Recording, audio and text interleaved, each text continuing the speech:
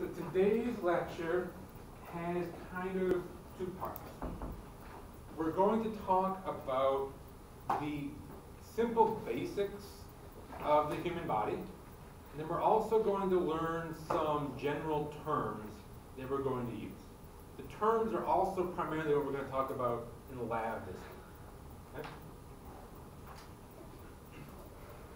So this is anatomy and physiology.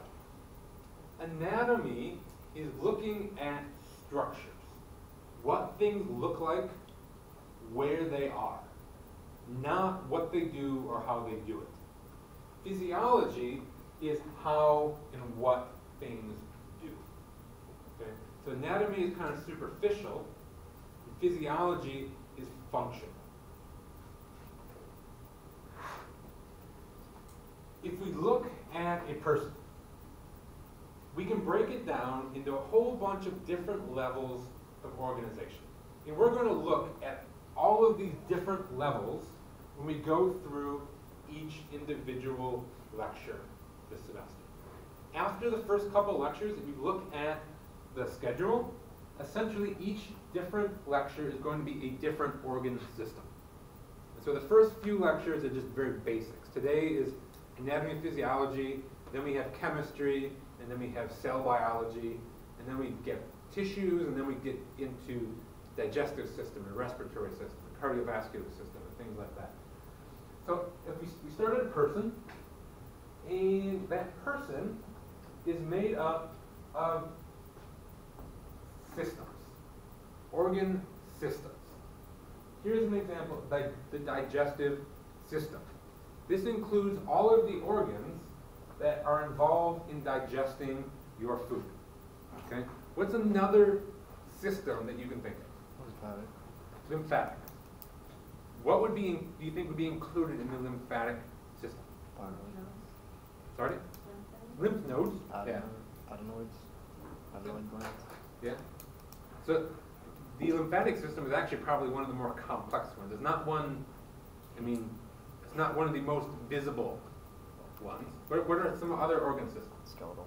Skeletal system, Muscular. muscular, respiratory, right. Skin is it, that's going to be the integumentary system, right? Endocrine, yeah, that's another one of the more complicated ones. So we have a person, and there are 11 organ systems. Those 11 organ systems working together are going to make one person. An organ system is made up of multiple organs working to one same purpose. Like, think of the digestive system. All of these organs are part of the digestive system. They do different things, but they all have the same purpose of helping you to digest your food, right? They have the same big purpose. They have different, smaller purposes. If you take an organ and then you start looking at parts of that organ, what you're going to see is that it's made up of multiple types of tissues. There's going to be groups of cells that serve one purpose, and groups of cells that serve another purpose. And so in our stomach, this is one type of tissue. It's called smooth muscle tissue. Now, the word muscle is in there, right? Why would you have muscle in your stomach? Helps move food. Right? And your stomach's grumbling. It's, it's moving around, right? It's compressing and mixing up all of your food. So there is smooth muscle in your stomach.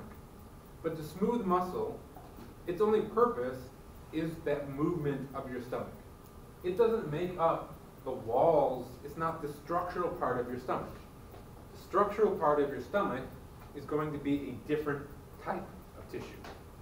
And so if you have multiple tissues working together for one purpose, that's going to make an organ. Okay? But those tissues, like I said, they are groups of cells. and they're going to be groups of similar types of cells.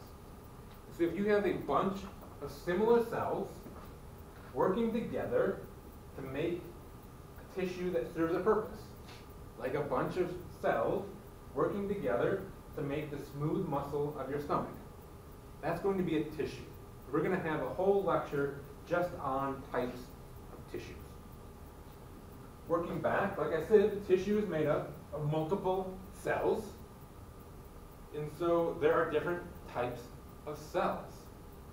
The cell is the smallest living part of our body. A cell can live on its own in the right environment. If you take a cell and you break it apart into pieces, those pieces are not going to work. And they're not going to be alive. So the cell is made up of molecules. Now we're down into chemistry, right? We left biology, we're now into chemistry. Molecules come together to make a cell. But those molecules are made up of atoms. So if you look at the periodic table here, those are atoms. A molecule is going to be multiple atoms of these elements put together. The elements are our most basic building blocks. Those are the only types of Legos that we have to work with to make a bigger structure. Okay? And so these are our atoms. We'll take these, put them together to make a combination called a molecule. Multiple molecules come together to make a cell. Multiple cells that are similar to each other will come together to make a tissue. If you have multiple types of tissue that come together, they can make an organ. Multiple organs can work together to make an organ system. And if you have multiple organ systems, you can make an organism, or a body, or. Do these levels make sense? So I think I think it's Thursday we'll talk about the chemistry, and then after that we'll talk about cells, and then tissues, and then we'll go go on to our organ systems. So this was our chemical level, made up of atoms and molecules. Cells are going to be the smallest, like I said, the smallest living parts of our body. They serve structural purposes and they serve functional purposes. Where do you think there would be a cell that serves a structural purpose? Bone. Our bones, we'll learn, are actually full of cells. So those cells would be structural. What, what do you think would be a more of a functional type of cell? Blood. Blood, yeah. Blood does not have a structural purpose. It exists to carry nutrients throughout our body. We'll see that there are a few different types of cells that make the same type of tissue. So there are muscle cells that make muscle tissue, nerve cells that make nervous tissue, and there are blood cells that are going to make our blood. Taking those together, we make our tissue. And so we have four main types of tissue. There's epithelial tissue, connective tissue, muscular, and nervous. Muscular and nervous are pretty easy to figure out, right? Muscular tissue is your muscles. Nervous tissue are your nerves in your brain. The other two, though, they're not as straightforward based on their naming. What do you think the connective tissue is? Tendons, ligaments. It's also our bones and our muscles. Not, not, sorry, not muscles. Not muscles. Muscles are their own. As soon as I said that, that's, that's wrong. Blood actually is a connective tissue. Yes. It doesn't it doesn't really fit in with the rest of them. But it doesn't fit in with any of the other three. It fits in best with connective tissue. And when we learn about connective tissue, we'll see what the definition of connective tissue, and then you will see that blood does in fact meet the, the requirements to be connective tissue. So we're talking bone, ligaments, tendons, cartilage, blood. That's going to be your primary connective tissues. Now there's epithelium. That word does not tell you anything. What do you think epithelial tissue what tissues have we not covered by the skin? Yeah. So epithelial tissue is broader than just skin. But the best example of epithelial tissue is going to be skin. Okay? What, we'll, what we're going to see is that epithelial tissue lines the outside of our body and also the inside of our body. And so you can picture inside of our body there are big cavities, right? We're going to learn about those today. Epithelial tissue is also going to line the inside of those cavities. But certainly the skin is the most visible and biggest type of epithelial tissue. So we take those tissues, put them together, and we get organs. There are the, the famous organs that everybody thinks of, right? But then there are also smaller organs. Things that you wouldn't think of as organs, like teeth. Teeth are organs. Tonsils are organs. Your tear ducts, organs, right? And so there are big ones and there are little ones. An organ is going to be at least two types of tissue working together. And so you have four types of tissue. If you can find at least two of those working together, you have an organ. Then we have the organ system, right? Take multiple organs and put them together. And then finally you have the organism. That's the entire body. So think of, I, I like how they do this. So each, each organ system is like a chapter in a book. It has a purpose. Each chapter in the book serves a purpose, but one chapter without the rest is not a very good book. If we only had our digestive system, we're not going to live very long. That's not a very healthy organism. We need all of those organ systems working together to make healthy organism. We can remove individual little organs out of our body and survive, right? What's an organ we can live without? Pancreas, Pancreas? Gallbladder. gallbladder, just a number of them, right? If you remove them out, that organ system can continue its primary functions.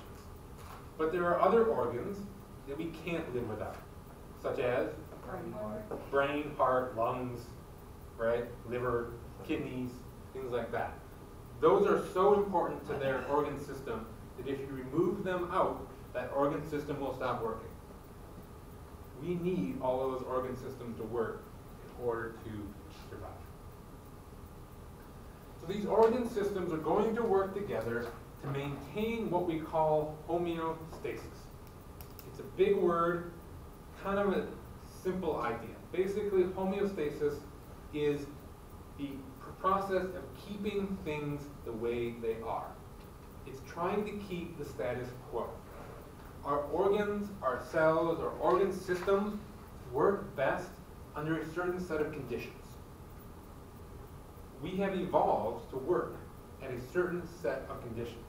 If those conditions change, the cells, the tissues, the organs, the systems, they stop working. And if they stop working, we die. And so we have a whole bunch of processes in our body designed to maintain homeostasis.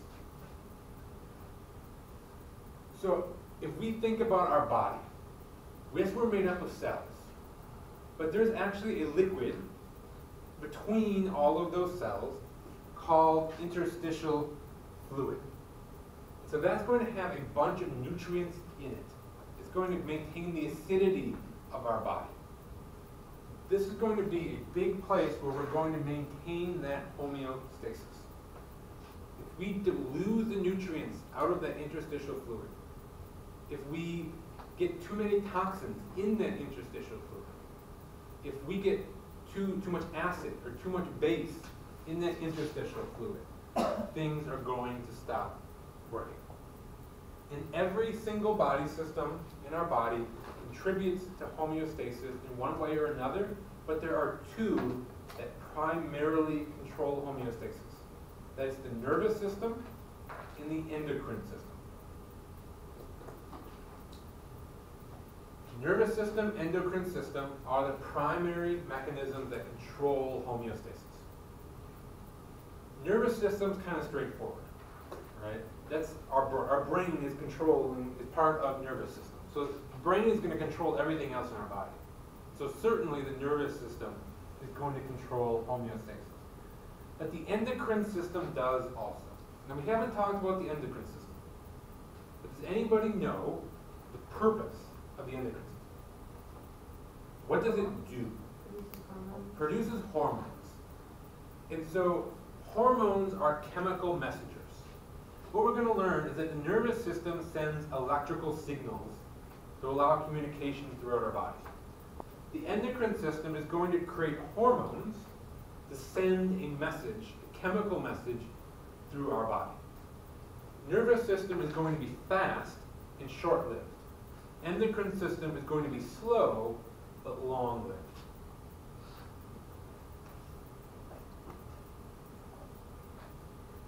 To maintain this homeostasis, we have what are called feedback systems or feedback loops.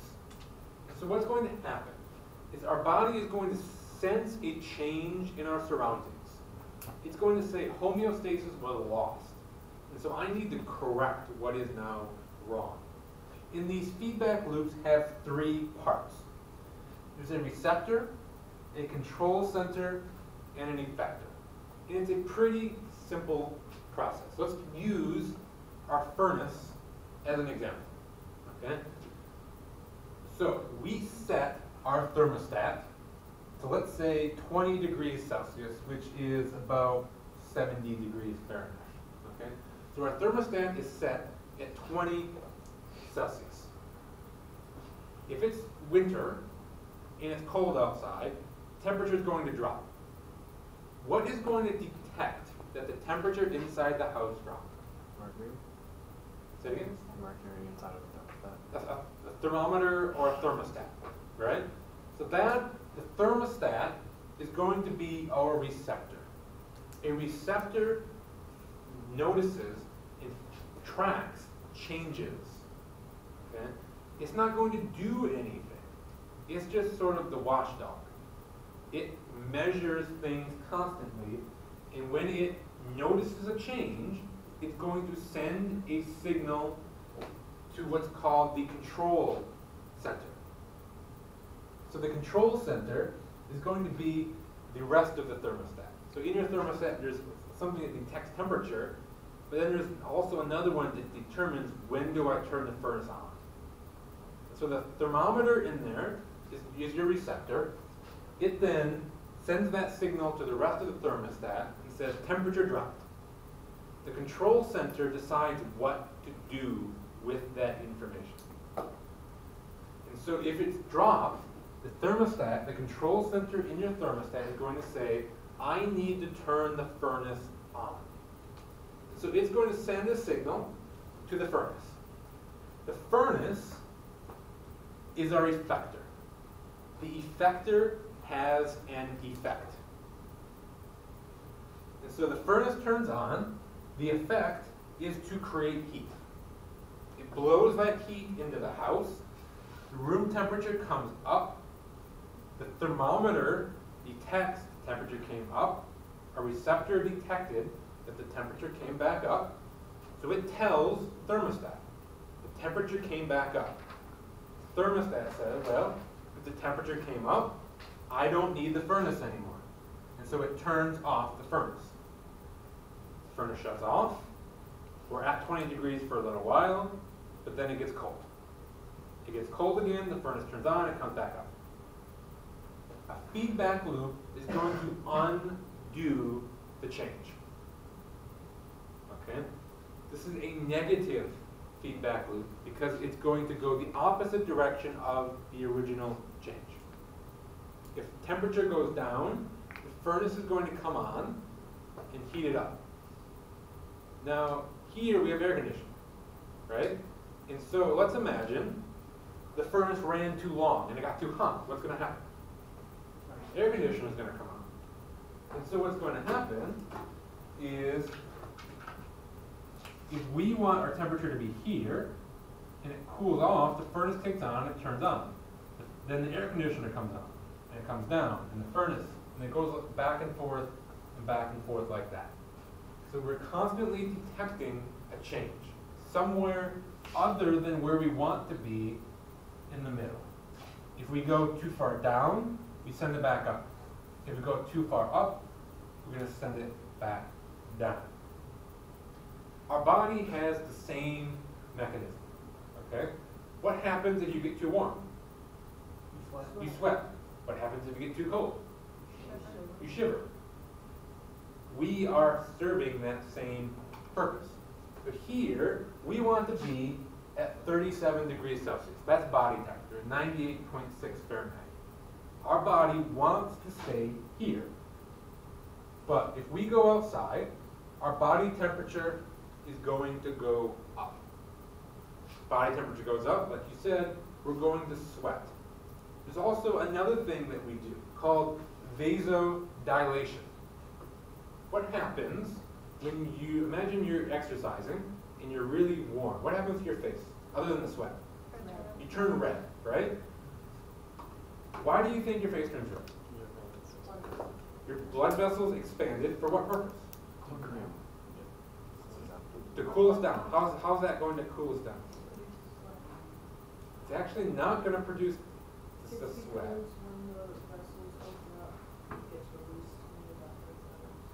Yeah. So if we're going to lose heat, am I going to lose it out of my stomach? No. I'm going to lose it off something that touches the outside. That's my skin. If I can, my blood is too hot. The more blood I can get on the outside of my skin, the more heat I'm going to lose, right? So if I get too hot, I'm going to sweat, and I'm going to have vasodilation. Dilation is getting bigger. When your pupils dilate, they get big.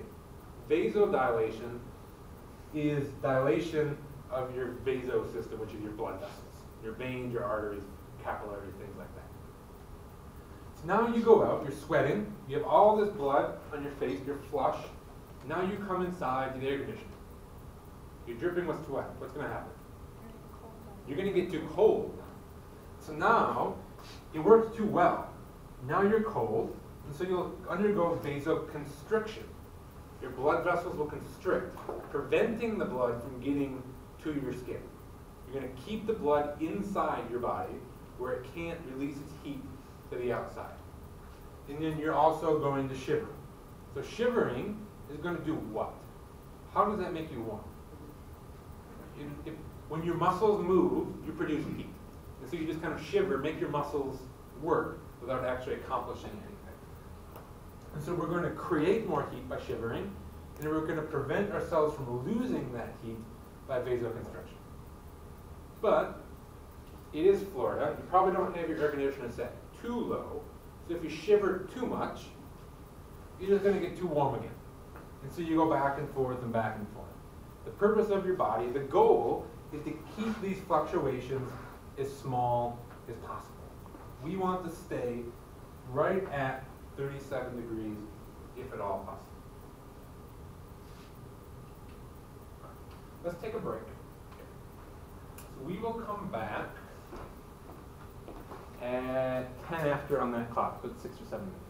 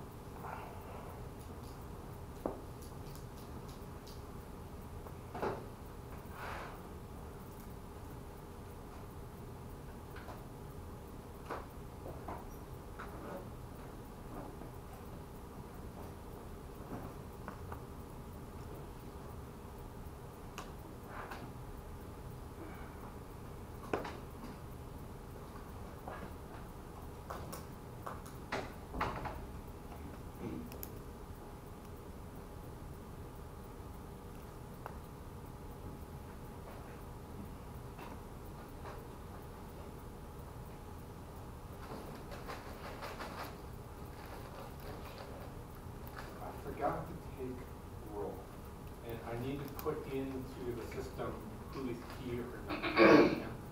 What we're gonna do is we're gonna go around and we're gonna introduce ourselves. But, uh, let me say this, okay? If I was sitting there, I would have said, oh God, also, okay? I hated that stuff, okay? I would sit in the back, I would not say a word.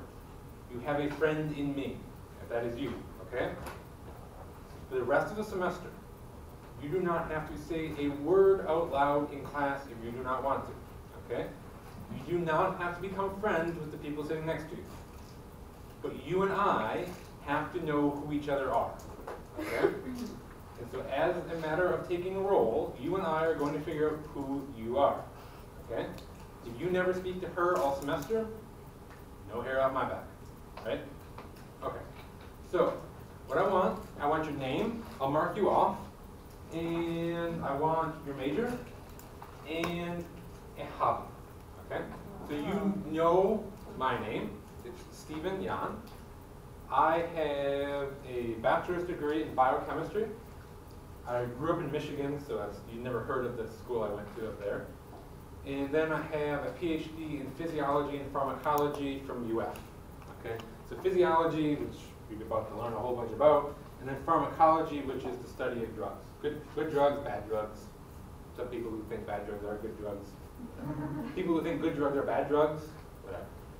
So that's that's my degree. I like fishing and football, which is why I am here, not in Michigan. I can fish year round, and I somehow grew up a Gators fan in a state with no Gators fans, including anyone in my family. Okay? So we will start. Anybody want to volunteer to go first? Any name, major, hobby? Go ahead. I'm Rebecca Genovese. And by the way, I have creepy pictures of you all. Oh, Uh, I think it's your, your it's your ID. I think mine's my work show. No, I'm just kidding. Oh, What's last name? Genovese. damn. Oh, Jimmy. G-E-N. Still in can, isn't it? Oh, right I don't there. have a Right there. probably. Right. No, you have a picture. Oh, gosh. Different hair color. okay. Weird. I'm going to school to be a surgical technologist. Oh, shit. Um, I've grown up in Mansfield, my entire life, born here, raised here. I have two girls. And that's The girls. Girls, that's it. So we'll start over here. Let's go next. My name's Harley Stephens, or Stevens, whatever you want to say. I Which one is don't care. I really don't care. I've been called both my whole life. So which one's correct? My dad told me it was Stephens. We'll trust your dad. Um, I'm going to school for radiology, and my hobby is my child. I really do nothing else. I go to school, work, and play with my kids. My name is David Persons. I'm going to school to be cardiovascular technology, and my hobby is raising my daughter's chickens. Alright. Kind of like, if you get a chicken, you gotta take care of it, right? And then you take care of it all. Is she ready? Yeah. Oh, they're, they're, they're chicks right now, and she's. Oh. Uh, My name is Lakeisha Dory, um, I'm going to school to be a psychologist, I'm kind of like, my hobby is basketball and. No picture of you. It's blank. In the back over here. My name is Arverla Neal. Um, I am the elderly person in this group. Um, I, I'm good to, um, finish a degree, I guess. I'm the, um, I'm already in my application. I'm a Kim's coding supervisor for the VA hospital. Um, I've been there for years and a lot of people are old in this class. Hobbies is pretty much unfortunately right now is work. If you're working and taking classes, yeah, Yes. not much other time. Um, my name's Sophronia, you don't need the last name. Um, The only Sophronias I've ever known are dead, so. Um, I'm going to school, um, doing tutoring in health information technology. So what she does is what I'm training to do. I'm not trying to take your job. I don't, I don't, I don't, I'll give it to you. I don't wanna supervise I will anyone. give you that. You can have it. I'm guessing she's going to school for a reason. Um, actually, I needed to brush up on my anatomy and physiology because we're, um, um, highlighting, I attend a CDI program, and I'll be making rounds with the doctors and things like that, so I need to be able to speak the language better. Can I be? Most definitely. Hobbies? Um, I don't. Okay. All right. Uh, I'm going into the surgical tech program as well. Um, and my hobbies uh, consist with racing at Gatornationals and music production as well as working. Yeah. I'm Savannah Vance. Um, I am majoring in dental hygiene. I'm already assistant, so I'm going into the bridge program. Um, and I rodeo. Oh. Rodeo? I know what it is, just. Um, My name is Natalie Sullivan. Um, I already have my A degree. I'm just going into dental hygiene because it's my last class. Um, my hobbies are painting.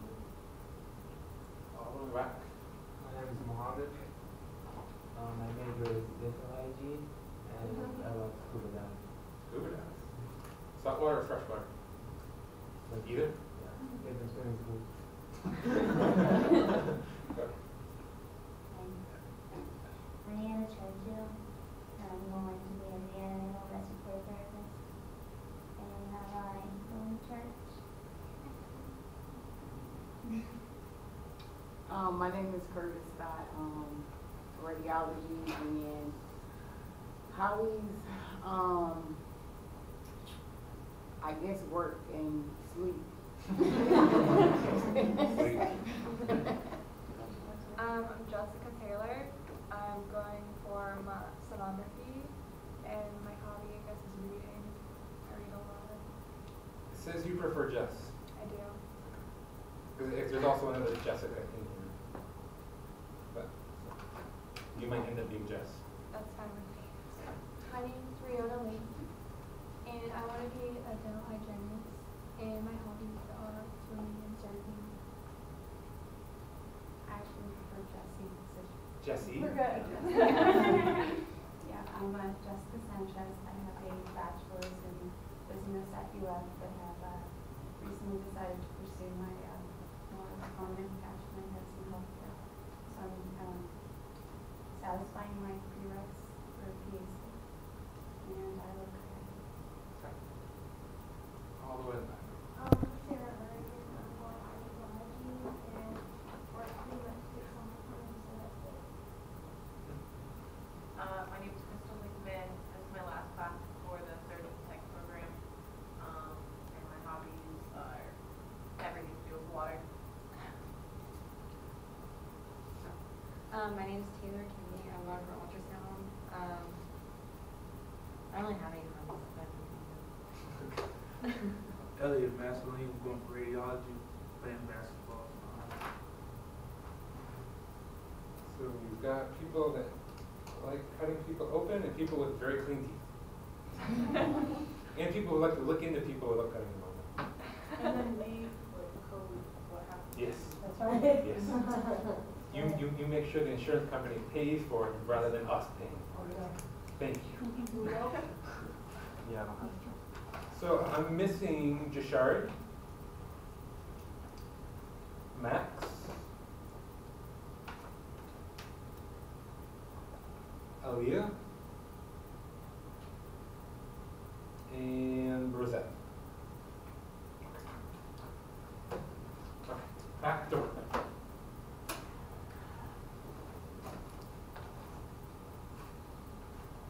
So, yeah, ahead. Oh, I was just curious. Was I actually on that list?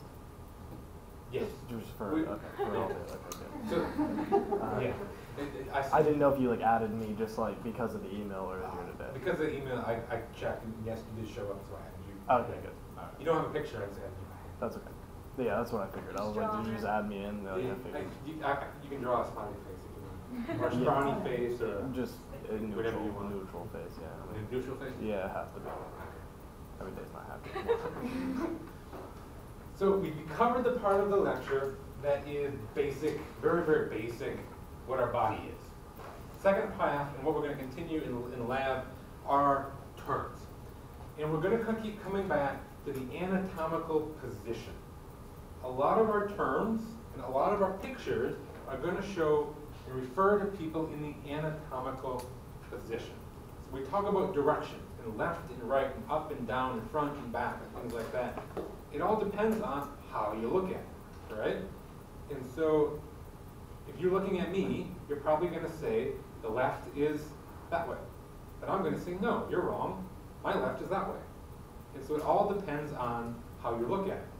But that's not a good idea if you're going to get your, your left arm worked on, right? And you come out of surgery and there's a big scar on your right arm. Because the surgeon said, well, he was, my left that I worked on. So you need to know which direction you're talking about. So there's going to be anatomical position. And so the anatomical position is going to be this. You've seen it before, right?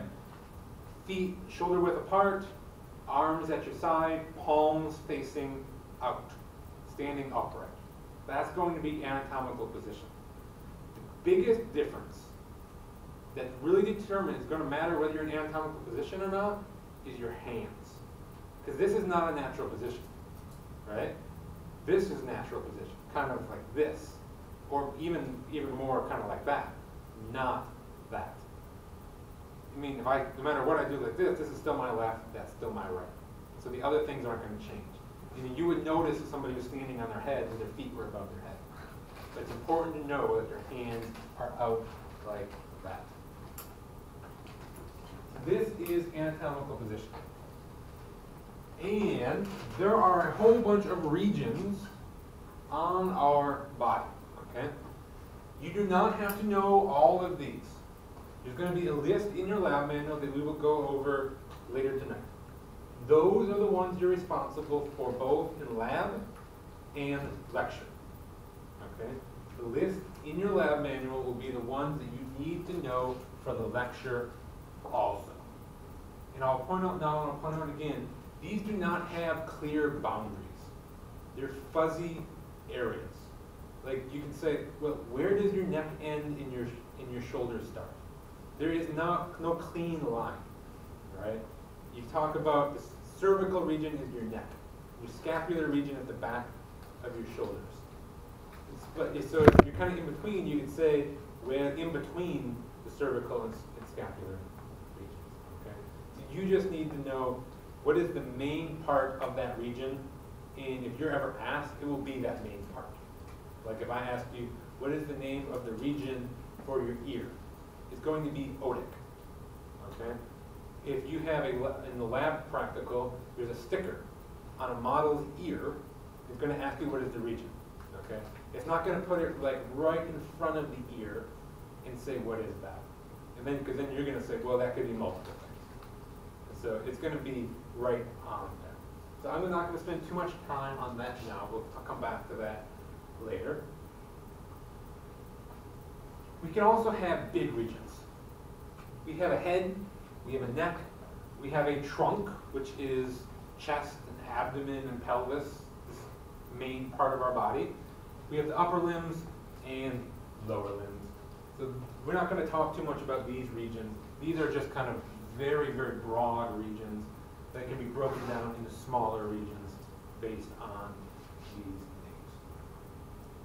We also have a number of directional terms. And you are going to need these both for lecture and lab. This is going to allow us to talk about the position of one thing in our body relative to another. These are always going to be relative terms. You can't just say the arm is lateral. Lateral is going to mean to the side, but it's to, to the side compared to what, right? And so it's always going to be relative to another thing. And for the most part, they're going to be in pairs. You're going to have lateral, which is away from the midline, and medial, which is towards the midline. Inferior, which is up, sorry, inferior down, in, inferior down, superior up. Think of superior as good, that's on top, up. So they're going to come in pairs. These are the pairs that you need to know. So like we just said, superior is towards the head, or up. Same thing, because we're talking about anatomical position. In anatomical position, the head is up. And so superior is towards the head or up. The opposite is inferior, away from the head. There are also some other terms that can be used for the same thing. So cephalic or cranial are two other words or terms that mean the same thing as superior. Inferior can also be called caudal. Okay, that's away from the head. Does anybody recognize the word caudal from something other than humans? Caudal fin. Where is a caudal fin? The caudal fin is the tail on a fish or a whale. And so that's the complete opposite end from the head. So these terms work on people who stand up or on animals that are sideways. That's fair game to ask you to use these terms on something that stands horizontally. Okay? And so caudal would be towards the tail, cephalic or cranial would be towards the head. Anterior is the front, posterior is the back. An anterior and ventral are the same thing. Posterior and dorsal are the same thing. Where do you recognize dorsal? Dorsal fin. Where is the dorsal fin? On the back. So if I had a dorsal fin, it would be on my back. Right? So that's one way to remember that the dorsal side is the back. Next we have medial and lateral. Like I said, medial is towards the median. The median is the middle, right? And so if I'm standing in the anatomical position, the median line runs straight up and down my middle, cutting me into left to right. Okay? And so medial means closer to that midline than something else. Lateral means further away from that midline than something else. So if I'm in the anatomical position, what is something that is medial to my hand? Belly button. My belly button is closer to that midline. It's on the midline. I'm not a mutant or anything. It's on the midline. So it is medial to my hand. My hand is lateral to my belly button. Okay? Now just look at my hand only. What would you say my thumb is compared to my pointer finger? Lateral. What about my pinky compared to my middle finger? Medial. Just think in the anatomical position. You're comparing two things. The thing that is closer to the midline is medial. The thing that's further from the midline is lateral. Intermediate is going to be between two things. And so you, you can say the example here is the transverse colon is intermediate between the ascending and descending colon. Those individual parts are not important. In, in intermediate is not a term you're going to use too often. But what could you say is intermediate between my palm and my elbow? My forearm. My forearm is intermediate to my palm and my elbow. Two weird ones are ipsilateral and contralateral. Ipsilateral means on the same side. Contralateral means on opposite sides. And these only refer to left and right. Cannot use ipsilateral and contralateral with front and back. So this palm and that finger are ipsilateral to each other. This palm and this palm are contralateral to each other. My two eyes are contralateral to each other. But this eye and this ear are ipsilateral to each other. Have proximal and distal. Proximal and distal refer to appendages. This is going to be arms, including fingers, and legs, including toes. So proximal means closer to the point of attachment. The point of attachment would be shoulders and hips. And distal is further from that point of attachment. So just thinking of my arm here, you would say my finger is what compared to my elbow? Distal. Think of distal as distant, further from the point of attachment. It's more distant from where it attaches. So my elbow is proximal to my fingers. My ankle is what compared to my toes? Proximal. My ankle is closer to my hip than, than my toes are. And so my ankle is proximal compared to my toes. My toes are distal to my ankle. Does that make sense? And finally, we have superficial and deep. These are fairly easy. This is just in terms of how far into the body you're going to go. Superficial is further out, deep is further in.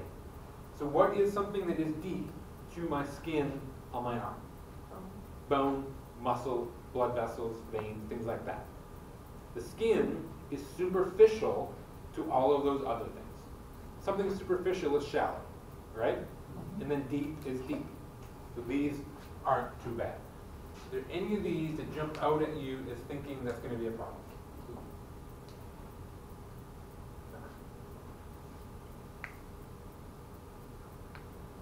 These are some examples. So what would the rib be compared to the heart? There are multiple answers here, right? Multiple correct answers. So what's one? I heard I heard two obvious ones. What's one? Proximal only goes with Oh, appendages. oh,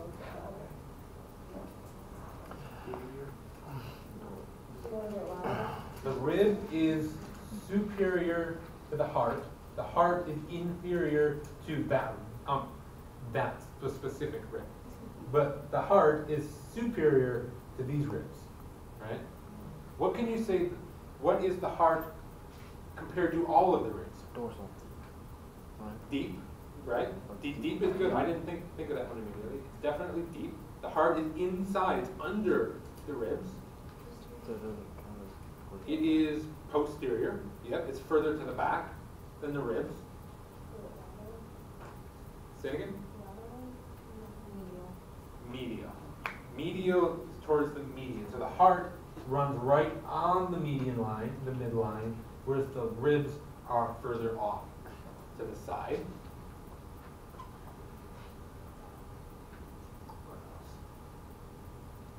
The radius is what to the ulna?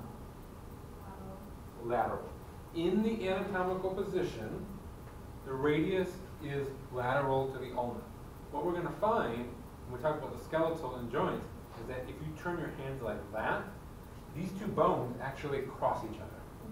So, but in the anatomical position, they're parallel to each other, and the radius is lateral to the ulna. Everybody got this? Okay. Next we have planes and sections. So we're going to start cutting things. Okay? And so this is going to have a m- s- multiple purposes. Number one, we're going to be looking at diagrams.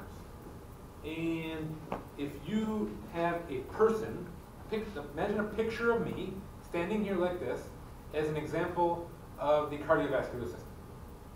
That's not going to work very well. You're going to have to cut me open order to see the cardiovascular system. And so you can cut in multiple different ways. I mean, you could cut me this way, or this way, or that way, or a diagonal, any way you want. All of those different ways that you can cut are going to have a term. Also, someone like a pathologist who looks at a microscope slide, they need to know how that was cut. Because if you take a piece of a kidney and you cut it that way, it's going to look very different than if you cut it that way. And if that pathologist thinks she's looking at it that way, she's going to say, well, this looks really, really bad. When in reality, if it's cut that way, it may be completely normal. Right? So a sagittal plane is a vertical plane that's going to cut something into left and right pieces. And it comes in two flavors. There's a mid-sagittal plane and a parasagittal plane.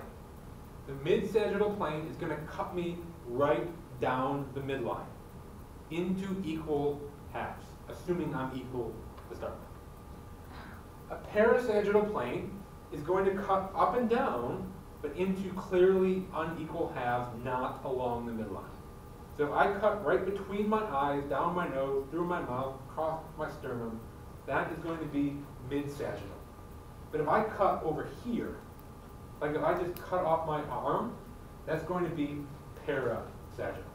They're both sagittal, but they have an extra little part at the beginning telling you whether it's mid-sagittal or parasagittal. So sagittal is just any vertical cut. Mid-sagittal is a vertical cut on the midline. Parasagittal is off the midline. A frontal plane, also called a coronal plane, is going to cut something into the front and back pieces.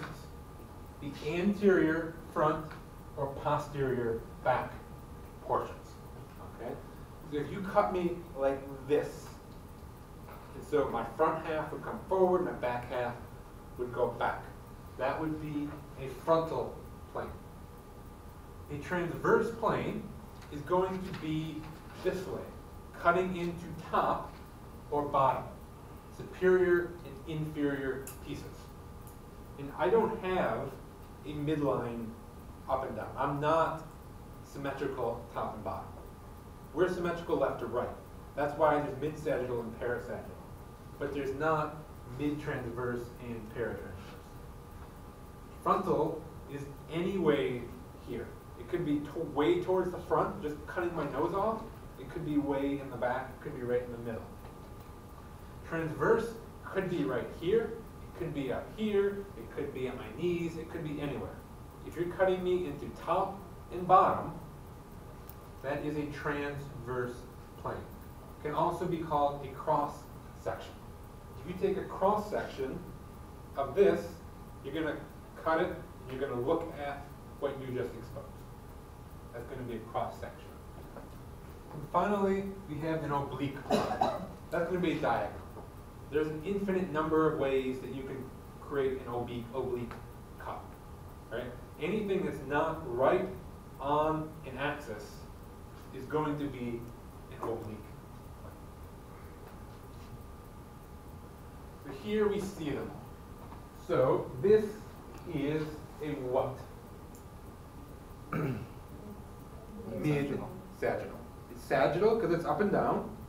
It's mid-sagittal because it's right on the midline, where this is a parasagittal plane.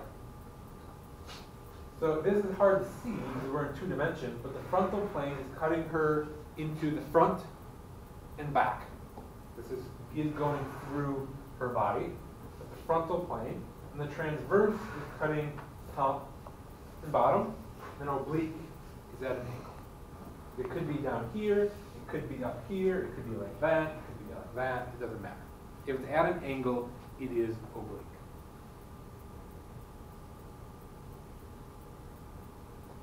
So this has some examples of what this would look like if you cut something with these planes. So we take a brain and we cut down the midline with a mid-sagittal plane, you're going to see that.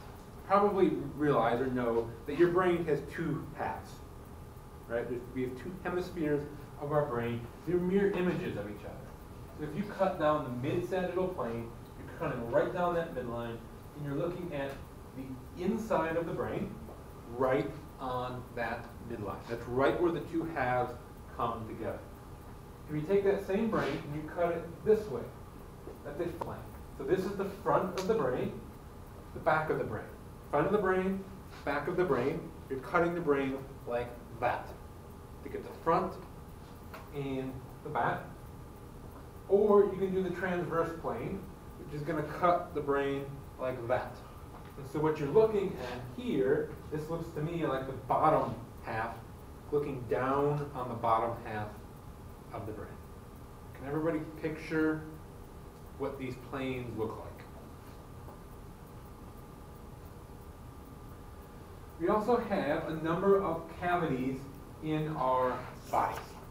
These cavities are open spaces that serve multiple purposes. They're going to be the space where our organs are going to live, and they're going to protect them and separate them out, and also give them support. If you just threw a bunch of organs in my my body here with nothing to support them, they would all just flop to the bottom and sit there on top of each other, right? We need cavities that are going to hold them in place.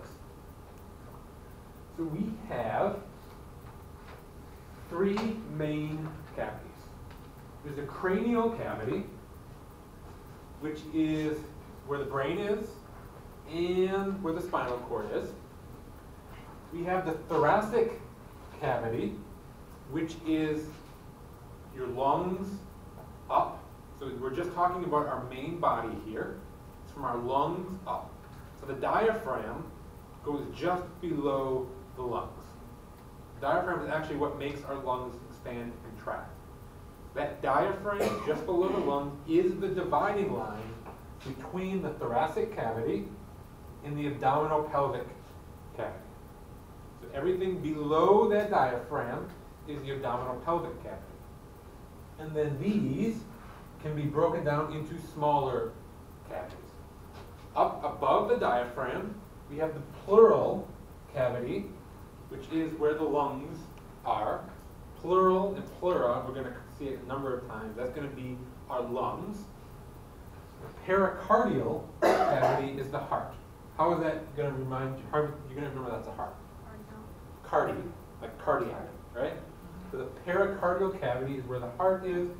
In the mediastinum is kind of a weird thing. There's really nothing there. It's just kind of an empty space. It's behind the heart, between the lungs. If you can imagine the way that looks, kind of, you got that empty space there. Okay?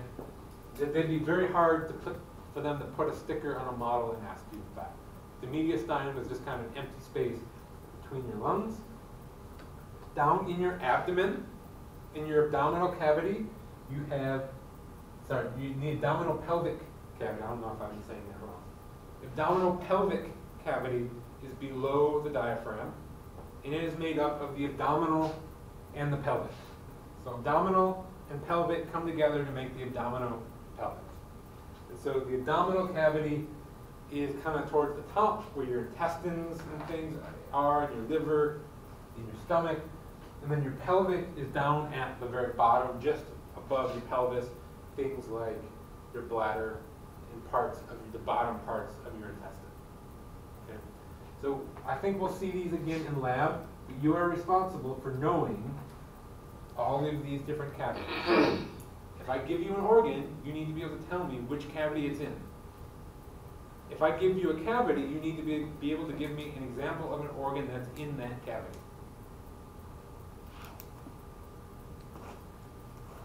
If we look at just the abdominal pelvic cavity, we can divide that into quadrants. So quadrant meaning four, four parts. And so if we take it, we see that some organs are in each quadrant. And we have the upper quadrants and lower quadrants. But also notice that the right quadrant is on the left. Why? Because we're looking at it. You, you're looking this way at that person in an anatomical position. So it is the patient's right. It's upper for both of us, but it's the patient's right. So you need to know which organs are in which. Some of them are in both. Well, what's something you, that you see that's in multiple organs? Colon. Colon is in multiple. The organs aren't labeled here, so you may not know what any of it is because it's like brown mush.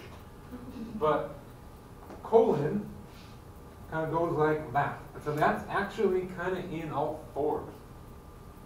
What's this big old thing, you think? That's the liver. So the liver is in both, but it's primarily in the right upper. Okay? You're not responsible for knowing every single organ where it is. The big ones, yeah, things like the liver and the intestine. The intestines are primarily in, in the lower two. Okay? I wouldn't worry too much about that. It should be pretty obvious which one's which, if you know the big ones. I'm not gonna ask, where's the gallbladder? You can't even see the gallbladder, okay? We're talking big organs here. And then finally, we have some serous membranes. And serous membranes are kind of odd, okay? They're like water balloons. And their purpose is to contain organs. Imagine you take a water balloon and then you push your fist down into it. What you've essentially made is something with two layers. There is the part of the, the layer of the balloon that's touching your fist.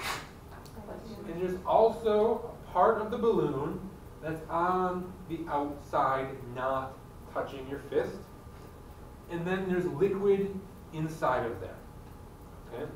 And these are called serous membranes because the fluid in here is called serous fluid. So inside that balloon is serous fluid. Now, we, like I said, there are two layers. There's the outside layer and the inner. The outer layer is always going to be called the parietal layer. It's the outer layer, the parietal layer. The inner layer is the visceral layer. Think of viscera, it's internal organs. That's the internal part, the part that's touching your organs. And the one around your heart is called the pericardium. And so the layer that's touching the heart is called the visceral pericardium. The inner membrane around the heart is the visceral pericardium. The outer layer is the parietal pericardium. So they're both pericardium. Visceral is the inner one, parietal is the outer one. The membrane around your lungs are called the pleura. P L E U R A, pleura. And so we have the visceral pleura on the inside, touching the lungs, and then the parietal pleura on the outside, not touching the lungs. The third serous membrane is the peritoneum. And this one's not as clean as the other two. This is going to surround everything in our abdomen. Okay? And so we have a parietal peritoneum, which is basically lining the inside of our abdomen. Just inside, imagine just inside my skin and my muscle and things. And then there's the visceral peritoneum that's actually touching things like the intestines and my liver. So there's two ways that you think, two things you have to memorize here. You have pericardium, the pleura, and the peritoneum. And then you have to remember that the parietal one is the outside one, and the visceral one is the inside one. So you don't really have to memorize parietal peritoneum, visceral peritoneum. Parietal pericardium, visceral pericardium. You just have to remember which one, which one is on the heart, which one's lungs, which one's abdomen, and then remember that parietal is outside, visceral is the inside. Questions? Okay. We'll take a break. We'll meet in the in 210 e- at 8 o'clock. That. Yeah, once the first hand went up, a bunch of them went up. You were, you were in front, you couldn't see, but you had plenty of friends. So, luckily, we don't have to go very in-depth into chemistry, okay? And even a lot of the fi- figures and pictures that I have up here are more in-depth than you need to know, okay? And so pay attention to how in-depth the words go and how in-depth I go and how in-depth the learning objectives and the study guide go, okay? Because to, to fully understand some of the figures that'll be up here, you would have to take multiple semesters of chemistry, okay? We're not going there, okay? I taught, before I taught anatomy physiology here, I taught Chem 1030 in the department for a few years. And so I know how difficult chemistry is for people. Can you teach it again? I have to take that next semester. I can only, I only have time to teach one course per semester. My goal is to stay in anatomy and physiology, But if no one signs up for my anatomy and physiology, or they don't need me, then I'll likely go back to chemistry. Please don't start a petition keeping people from signing up. And don't ruin my ratemyprofessors.com or something, okay? You'll be fine. So we're gonna talk about chemistry. And chemistry comes down to elements, right? Periodic table of the elements right up there. And each element is, I mentioned on Tuesday, essentially a building block. Think of them as all the different colors and shapes of Legos. You can't make something out of Legos out of something that's not the Legos that come with. Okay? And just like Legos, the smallest building block is almost indestructible. You step on them, they hurt, but they don't break. right? And so the smallest piece of an element that is still that element is an atom. All matter in the universe, which includes us, is made up of atoms. And matter is something that takes up space and has mass. What can you think of something in this room that you would say is not matter? What in this room? Light. So everything in the universe, everything is either matter or energy. And so matter is what we think of as objects. But it's not just objects, because the air is matter also. It's just very low density matter. That matter is made up of atoms, and the atom, like I said, is the smallest unit of an element that is still that element. You can, in fact, break an atom apart, but then you get into very, very basic pieces that make up all of the different elements. We'll see that on the next slide too. Okay? But can't go any smaller than an atom and still be that element. You can also take atoms, combine them together, and you're going to get what's called a molecule. A molecule is two or more atoms combined together. And it, these two atoms can be the same element, or they can be different elements. And it doesn't really matter how many you have, if there are at least two atoms of any element bound together, stuck together, that is going to be a molecule. So over here, we have molecules that have two atoms each. Atoms are essentially sphere-shaped, and so we draw atoms as spheres. So these molecules have two atoms each in them. And the fact that both atoms are the same size and they're the same color, that means the artist is trying to tell us they are the same element. Down here, we have a different molecule. These molecules have three atoms in them. There's two different elements though. There's the red ones, and then there's one of the black ones. This is actually water. And that's just, well, let, let's think of it. Let's see if we can figure this out. If, oh, how do you know whether that one's hydrogen or oxygen? H2, oh. Right. So water is H2O. But, I mean, I mean, baseball is. We write a chemical formula H2O. That 2 is telling us that there's two hydrogens. Mm-hmm. And so if we look at there, and I tell you that water, H2O, there's two of the red ones. And so the red ones must be the hydrogen. And since these red ones match those, this must be a hydrogen molecule, just H2. But they were black, would. Right. If you had two black ones, it would be But O2. Yeah, because they're both that common. Right. You take chemistry. Yes. I'm- I'm really, I like it a lot. I do too. Yeah, super fun. So discrete, it says two or more atoms bound together in a discrete arrangement. What that means is that they are always in the same put togetherness. Okay, so in this one, we have two red ones on either side of a black one. If you had two reds and a black like that, that's not the same molecule. This is a molecule, but it's not the same molecule as that, because it's not arranged in the same way.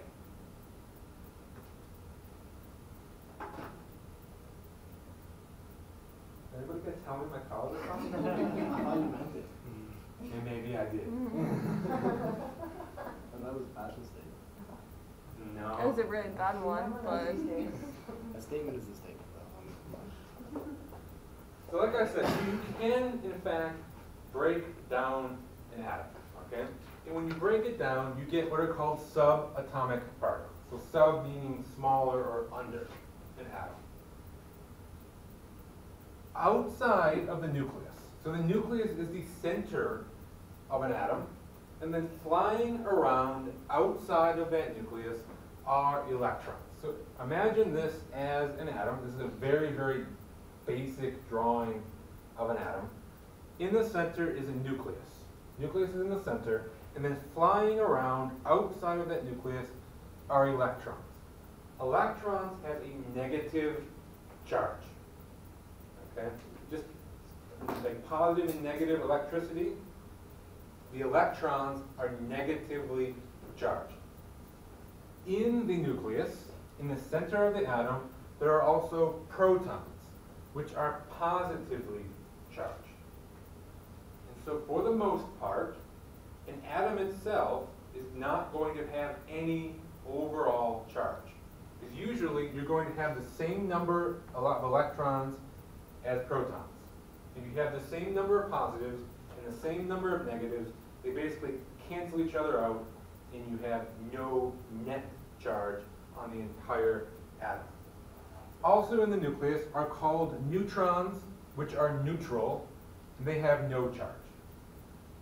Functionally, they serve no purpose, especially in our class.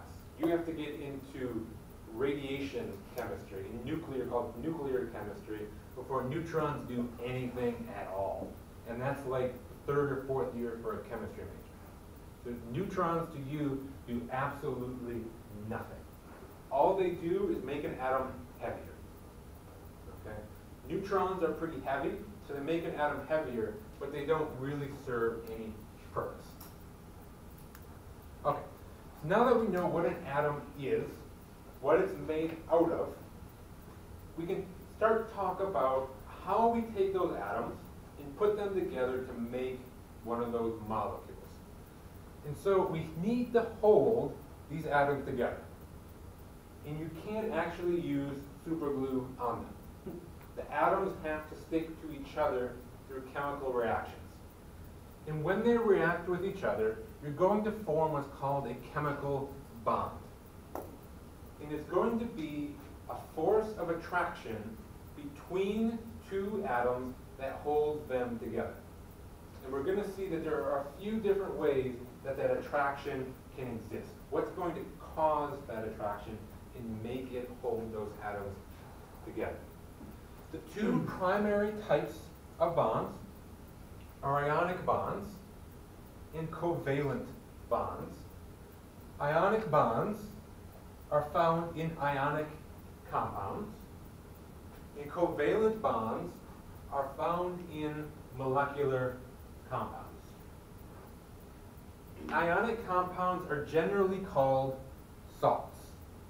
So salt, when I say salt, what do you think of? Salt. Salt, which is NaCl or what's the chemical name?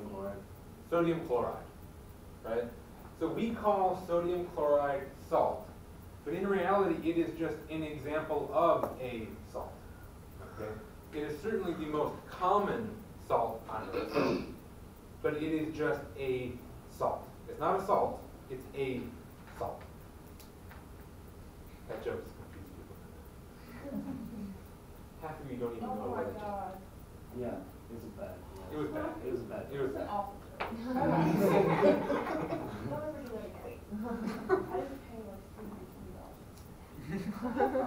Well, we're past the slides, so that joke won't come on. Just don't take the classes, and then we won't come, not, you know what I mean. Good, that's the plan. But if you take chemistry with you, then you might hear it again. Gonna. So in ionic compound, where there are ionic bonds, an electron is actually going to get transferred from one atom to another. And like I said, normally an atom has no charge because there's an equal number of electrons and, and protons. So let's say we have an atom that has two protons and two electrons. I have positive 2 and negative 2. What's positive 2 plus negative 2? Zero. They cancel each other out. But let's say I have another one over here that has 3 and 3. What's the overall charge on that? Zero. Because there's 3 and 3. But let's imagine that one of these electrons over here is transferred over to that one. Now, is there the same number of positives and negatives here? No. No. Which one is there more of? Negative. And how many more negatives are there? One. And so that atom's going to have a negative one charge. Because there's one more negative than there are positives. What do you think the charge is on this atom? Positive one. Now, we now have two atoms, one positive, one negative. What do you know about positive and negative? They attract. So we've made a positive and a negative. They attract. That is an ionic bond. It is just positives and negatives attracting each other. Essentially, you, if, if you want to, you can think of it in, in terms of physics like that, or you can think of it as this atom gave an electron to that one. It let it borrow it, but it doesn't want to let it keep it. And so it's not going to let it out of its sight. So wherever this atom wants to, is going to go, this one's going to follow it so that it can get its electron back someday in the future. Okay? So that is an ionic bond. Electrons are transferred. We're going to see covalent bonds are different. In an ionic bond, an electron is transferred. Sometimes it's one, sometimes it's two, sometimes it's three. That doesn't really matter to you. Okay? You're not going to have to do anything like this. You just need to know that in ionic bond, you transfer electrons, which creates and negatives, makes them attract. In an ionic bond or an ionic compound, there is going to be a metal. Always. You cannot have an ionic compound or ionic bond without a metal. And if you have a metal, it has to be an ionic bond. Okay? Now, we're not going to go, again, too much into this, but if you look at the periodic table, generally, there's a stair step that goes through here. It looks like it's kind of, it's kind of a reddish color. If you can see that stair step there. Everything to the left of that stair step is a metal. And anything to the right of that stair step over here is a non-metal. And so if you have a molecule that has any element from the left of that stair step, immediately and with no exceptions, it is an ionic bond, it is an ionic compound. And if you have something and you're trying to figure out, is this an ionic compound or molecular compound, ionic bond, covalent bond, look, is there a metal? If there is at least one metal, it's ionic. If there is no metal, it cannot be ionic. If there is no metal, it's going to have to be covalent. So covalent bonds are in molecular compounds. Instead of electrons being transferred, which creates that positive-negative attraction, electrons are actually going to be shared. Okay? Now let's say this eraser is an electron. Okay? I have it. I'm willing to share it, but I'm not willing to give it up. But Nick wants an extra electron. So he wants one, I can share, so I'm going to hold it out, he's going to grab onto the other end. Now he wants it, so he's going to hold it. I want it, so I'm going to hold it. Neither one of us wants to let it go, and so we're stuck here. We're not going anywhere unless we go out the door together, right? That's a covalent bond, thank you. So we're sharing an electron. That's a covalent compound. And like I said, these will not have a metal. If, if I write, if I write a compound up there, let's say that. You don't even know what that is. You don't have to know what these symbols are, okay?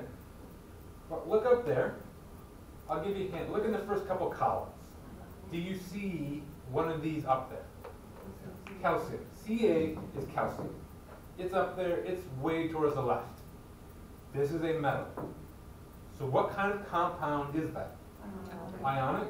And what type of bond is holding these atoms together? What kind of bond is an ionic compound?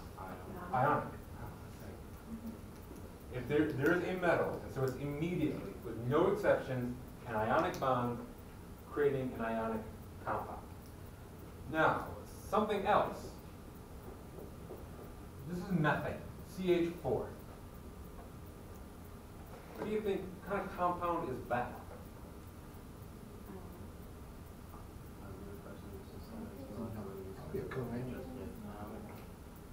If, yeah, if you're looking for patterns, most likely I did is not ionic, right? Yeah.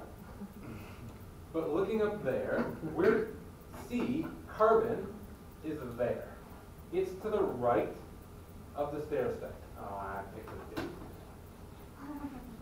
I, I picked one that requires more now. Let's go C BR4. There we go. So C is to the right. BR is to the right. They are both to the right of the stair step. There is no metal. And so what kind of bonds holding it together? Covalent. And what is the type of molecule? Molecular. I don't know, they should have just called it covalent compound. Ionic bond, ionic compound, covalent bond, molecular compound. I, I didn't make it. Did you erase the other one? Does that actually involve hydrogen? Yeah, because hydrogen on the periodic table is on the left, but it can behave, hydrogen's weird, it can behave as a metal or a non-metal. Mm-hmm. So, but don't worry about that.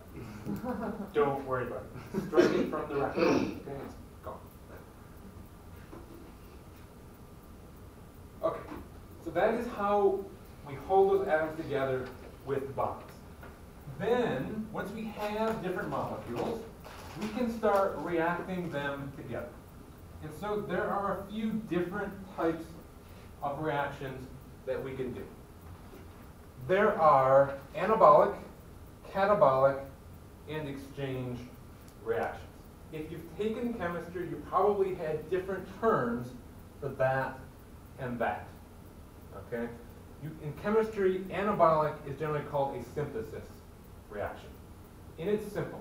You're taking two or more things and sticking them together. That's all an anabolic or a synthesis reaction is. You're just taking multiple things and sticking it all together into one thing. In our body, we're going to use anabolic reactions to store energy. What we're going to see is that in our body, energy is stored in gigantic molecules.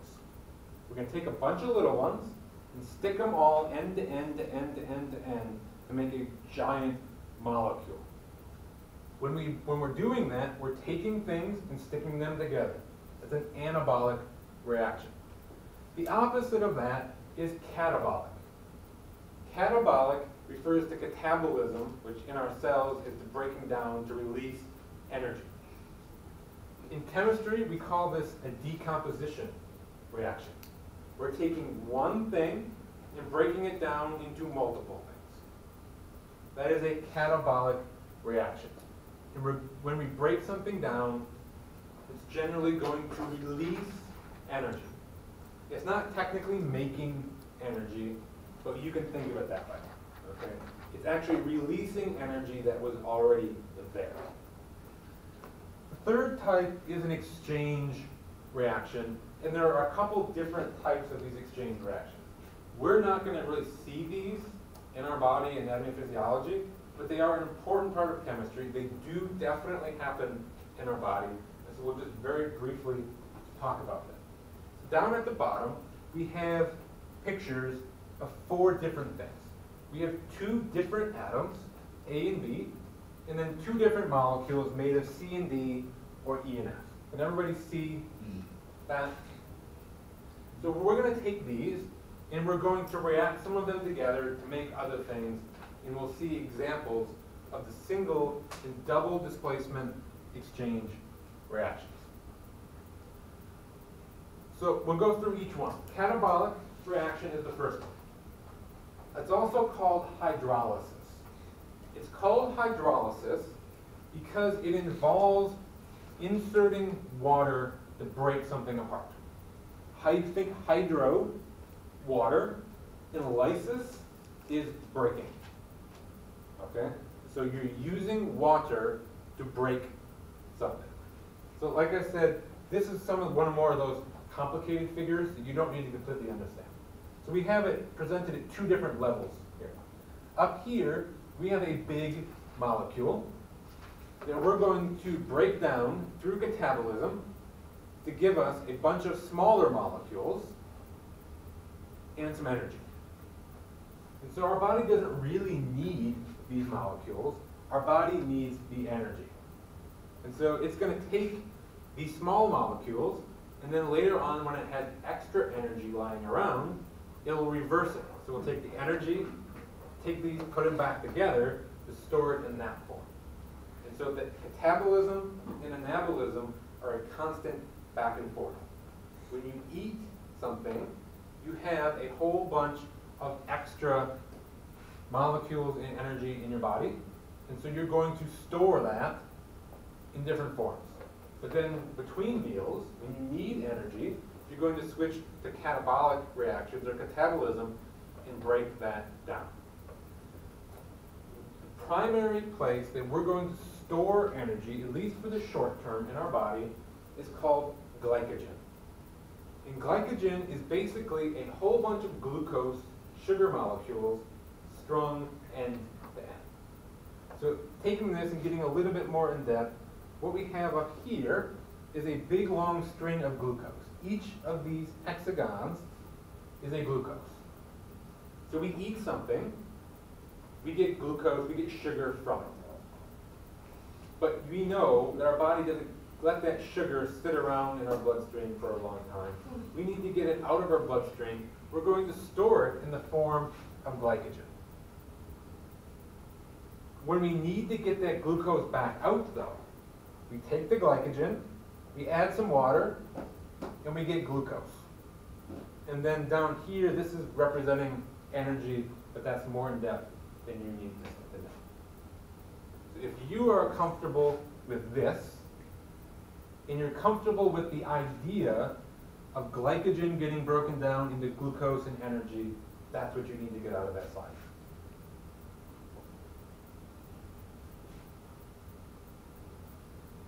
So like I said, anab anabolism is the reverse. So the small molecules plus energy gives us our big one. And so this is the process of making glycogen. so here we have a glucose. I don't know want to circle the word glucose in there. That's the main part. We have a glucose, and then we have glycogen. We're going to stick that onto that to get a bigger glycogen. So glycogen has no defined size. It's just a bunch of glucose strung together. So you take a glucose, so sorry, you take a glucose, stick it to a glycogen, you have a bigger glycogen, bigger glycogen. That's a anabolism. The first type of exchange reaction is a single displacement reaction. And you do not need to get too in-depth in this. You don't have to do these reactions. Okay? I just want to show you that in a single displacement reaction, we have an atom, a single atom by itself. We have a molecule, and this atom replaces and kicks out one of the atoms over there. One atom changes places, right? One atom kicked one atom out, there was a one-to-one switch. So it's called a single displacement. Some folks call it a single replacement instead of displacement. It's the same exact thing. The other one is a double displacement. So whereas here we had an atom and a molecule, here we have two molecules. And all we're going to do is switch partners. The C is going to end up with the F from over here, and the D is going to end up with the E from over there. All you do is switch partners. In a single displacement, one kicks out another. In a double displacement, you switch partners. Questions on anything up till now? Yep. So now we're going to move on more into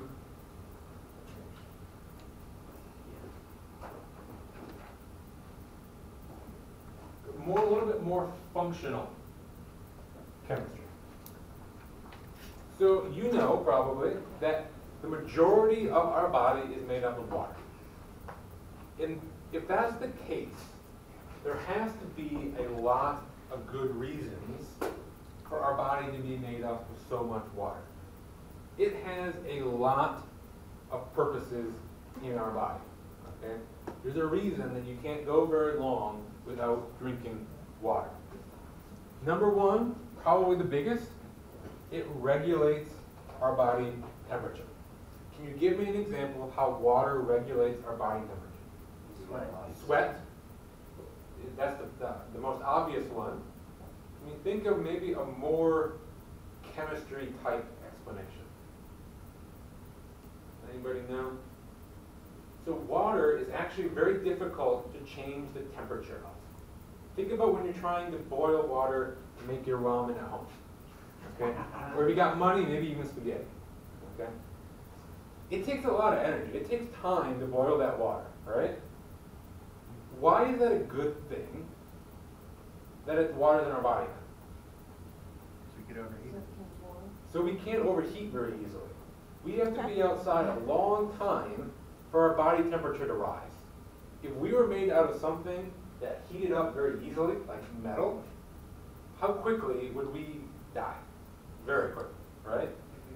So water is very important for regulating our body temperature. It's also going to make parts of our body that need to move wet. And that's going to allow them to move. Things like the inside of our mouth, our eyes, our nose, and joints. They are moist and things can move through them because of water. This says water protects body organs and tissues.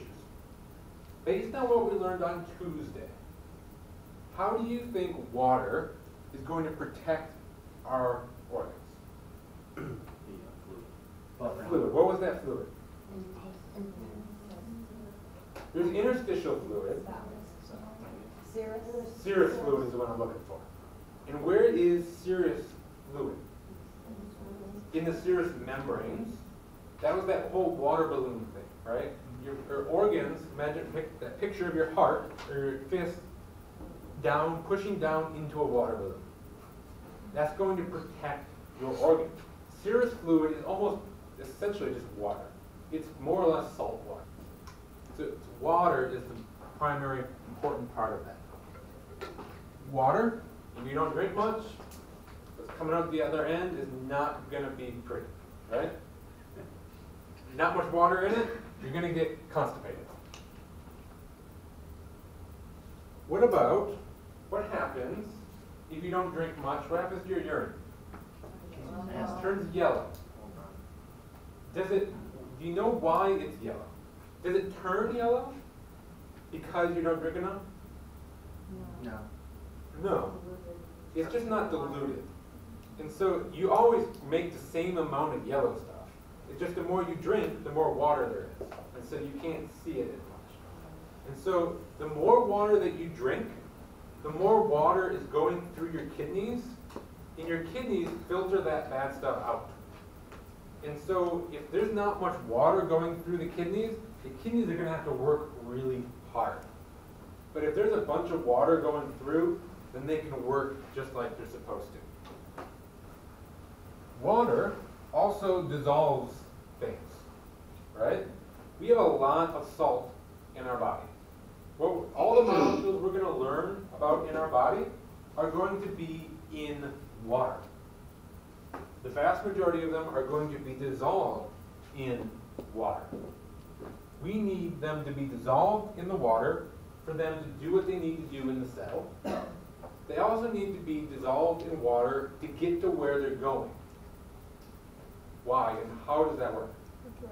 Bloodstream. If I eat something, those nutrients are going to get into my bloodstream, in my intestine, in my liver. But I need those nutrients everywhere, especially in my brain. If they don't dissolve in water, if I didn't have water, they, those nutrients can't get to my brain. They also, if the water is also going to carry oxygen. Oxygen is going to stick to a hemoglobin in our blood, in our red blood cells. If I don't have water in my blood, it's not going to pump. And so all the oxygen is just going to stay right in my lungs it's not going to get anywhere. And so you can see that water plays a role in every single important part of our body, right? Water is the most important molecule in our body.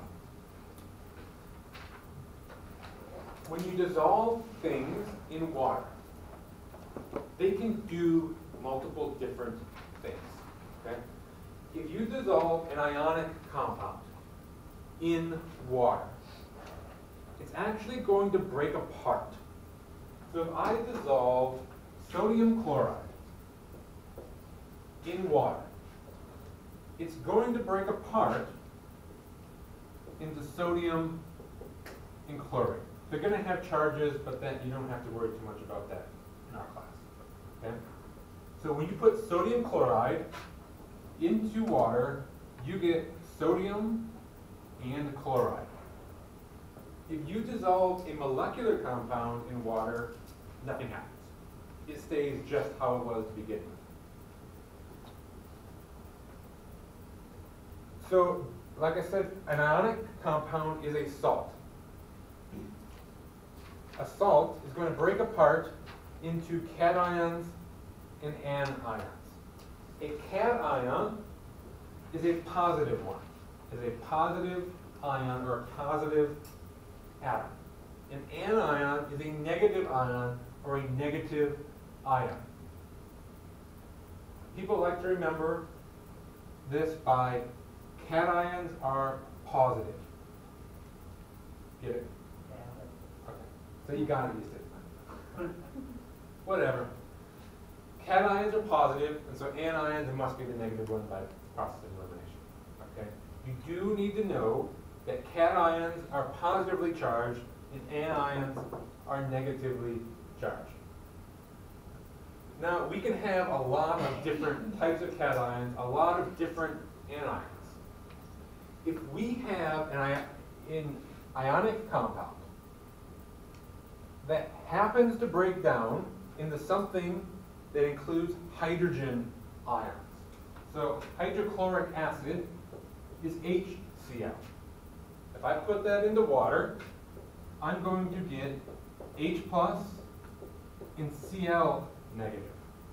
If you put something into water and you get H plus, which is called a hydrogen ion, that is an acid. That is the definition of an acid. An acid produces hydrogen ions when you dissolve it in water.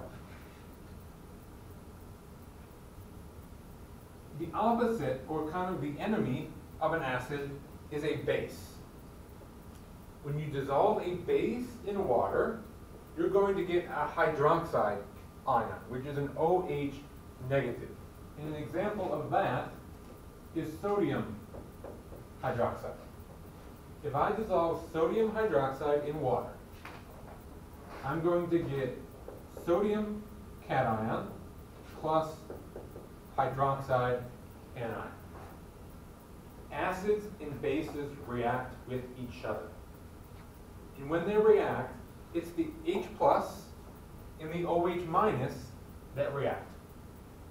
Now, can you imagine in your head, if you took an H plus and combined it with an OH minus, what are you going to get? OH2, which sounds very similar to H2O.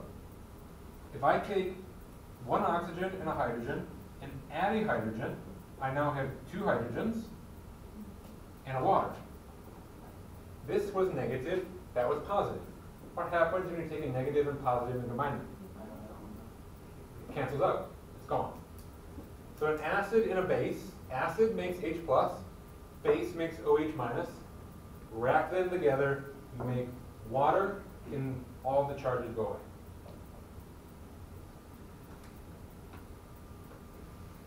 Ionic compounds, acids, bases, and salts are examples of inorganic compounds. An inorganic compound is anything that does not contain carbon. If there is carbon, it is called organic. So you can go into Whole Foods or whatever you want, pick up, uh, bring in uh, a, a, a, an orange covered in pesticide, make them really mad and say, this is completely organic, and plunk it on their table and walk out. And you would not be wrong, right? Because pretty much everything in there is carbon.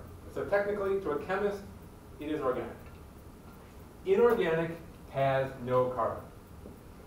You can have ionic inorganic compounds. You can have molecular or covalent inorganic compounds. If I take something over there that's not carbon, I can take N and Cl. NCl3. There's no metal there. This is completely covalent, it's molecular, but there's also no carbon.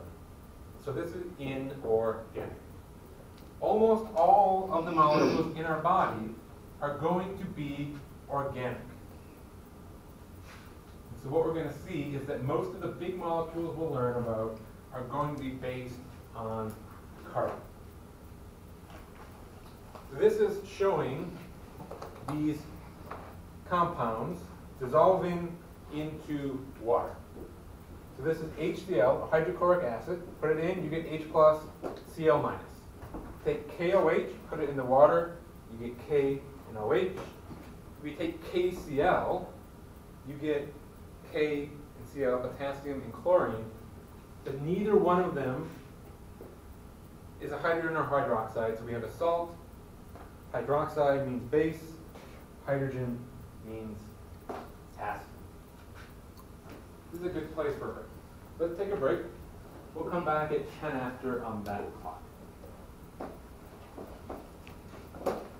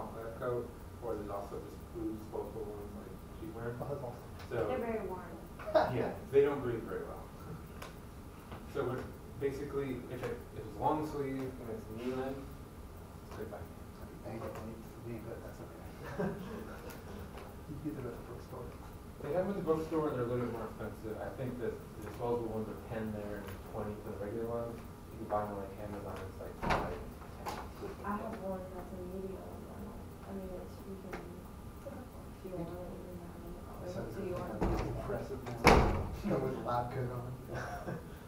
On Tuesday, whenever. Oh, I've been trying to give it to somebody. I'm like, dude, does anybody need a lab coat? Cause it's too, it's huge on me. Too big? It's like small as a ball. yeah, it was my niece's but she took this last semester and she's like, here. Yeah, you know, And, um, quizzes, like you said, you dropped a couple of them. Okay, fine. Cool. So if you look at syllabus, it it lays it all out for you.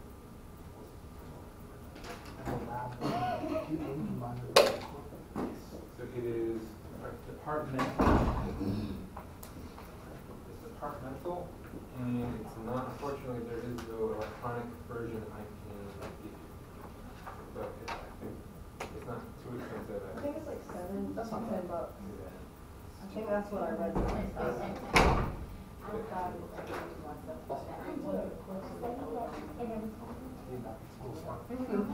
They're not oh, for a. Actually, you did it. Go into. That's what it said. I was like, no, no, let me go ahead and go with this on that, cause they doing it in order. Third nineteen. Yeah, I don't know what see. And now, cause I was about to change out, like, no, that's wrong. Let me go with. this. I always change it. I need to reread this. I was gonna teach you something.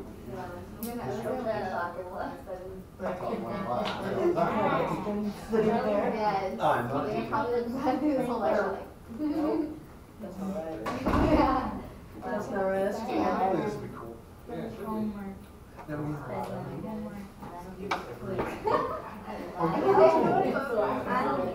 Normally, it's not a three-hour lecture, two-hour lab, you have a three-hour lecture one day, two-hour lab the other. But we have four hours of lecture a week, so it's a four-hour lecture.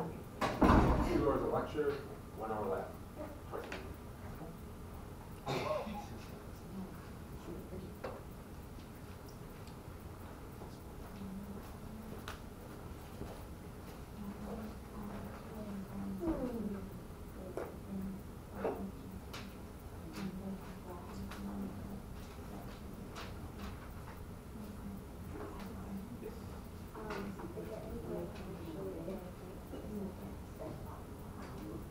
I missed it because you said in your PowerPoint that it's gonna be two different types of cells or more to be a tissue.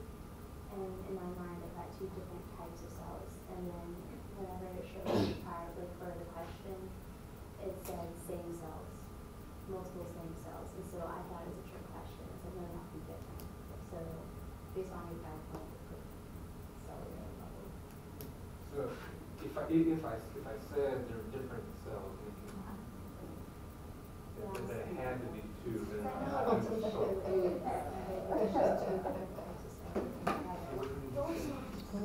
Oh, for the second one. Yeah. Natalie.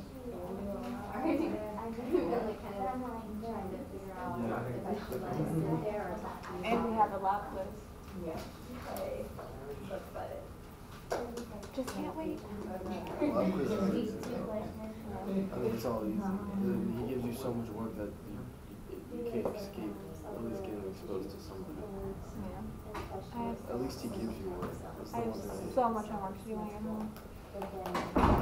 Thank God this is my only class I have to go to. Cause I have oh music appreciation and like I have, you know, I oh, have Jeez. my math homework, if I have different. ones, two math quizzes. oh, music appreciation. Yeah. It's a new teacher, he's never ever taught. I'll, I'll make this match. You, really know your music, so. I. Any appreciation. This is his first one, he doesn't, even know how to teach. There's four homework assignments. That's it. I less than that. I just need tests. Tests out. I'll take it, I'll. Like, I don't even need take it. Months, of. I have test anxiety. So, I'm gonna pass, I'm gonna pass these back. Test, I'm like, They are not in the grade book. And so hold on to these, you're gonna turn them back in, okay? If you throw this away, it's gonna be like you never took it. When do we put in? Hmm? At when, after the lab quiz. We use it on the quiz. If somehow your CC helps you over there, be my guest. I wrote, the whole question down. No, I'm going to didn't. I didn't do that. Uh, you can read my thing.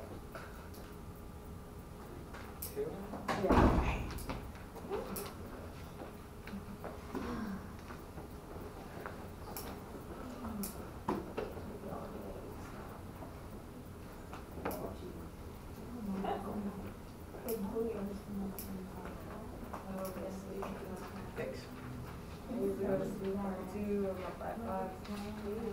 Yeah. I that's my life. I'm a mom.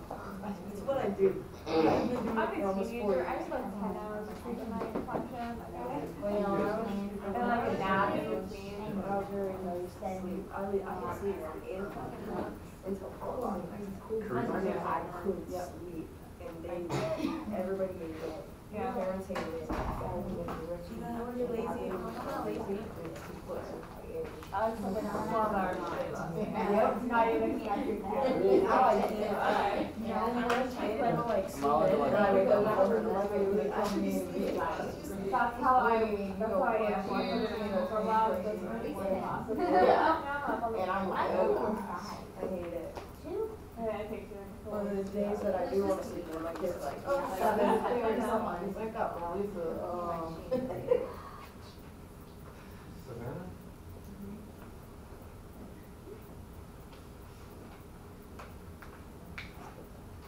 You? Are all the quizzes always going to be this like short? Uh, my, my plan is two questions. Okay. Charlie? Follow your glasses, okay?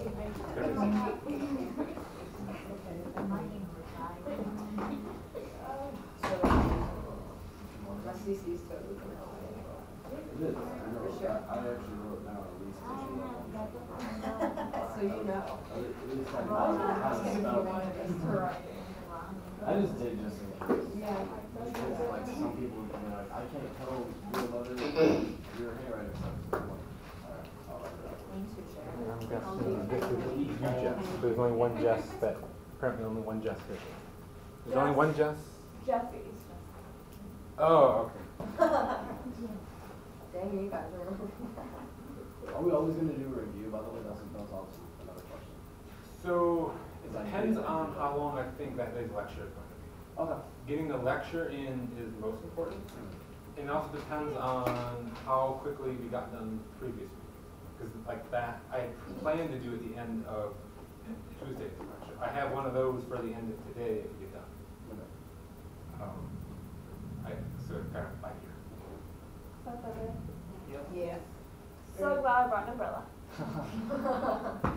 So, so. So glad mine's a Oh, it is nasty outside. Yeah. Yeah. They have a hurricane over like Texas. Texas and like Louisiana. It's a sad Does anybody see anybody that's missed? At least uh, that was here previously and I'm breaking. Use a computer to take notes. So you're welcome to use a computer, I don't like typing though. And so if you have like a tablet or a touchscreen, that's fine. If you have a computer you want to follow along with and take notes some other way, that's okay also. It's no typing.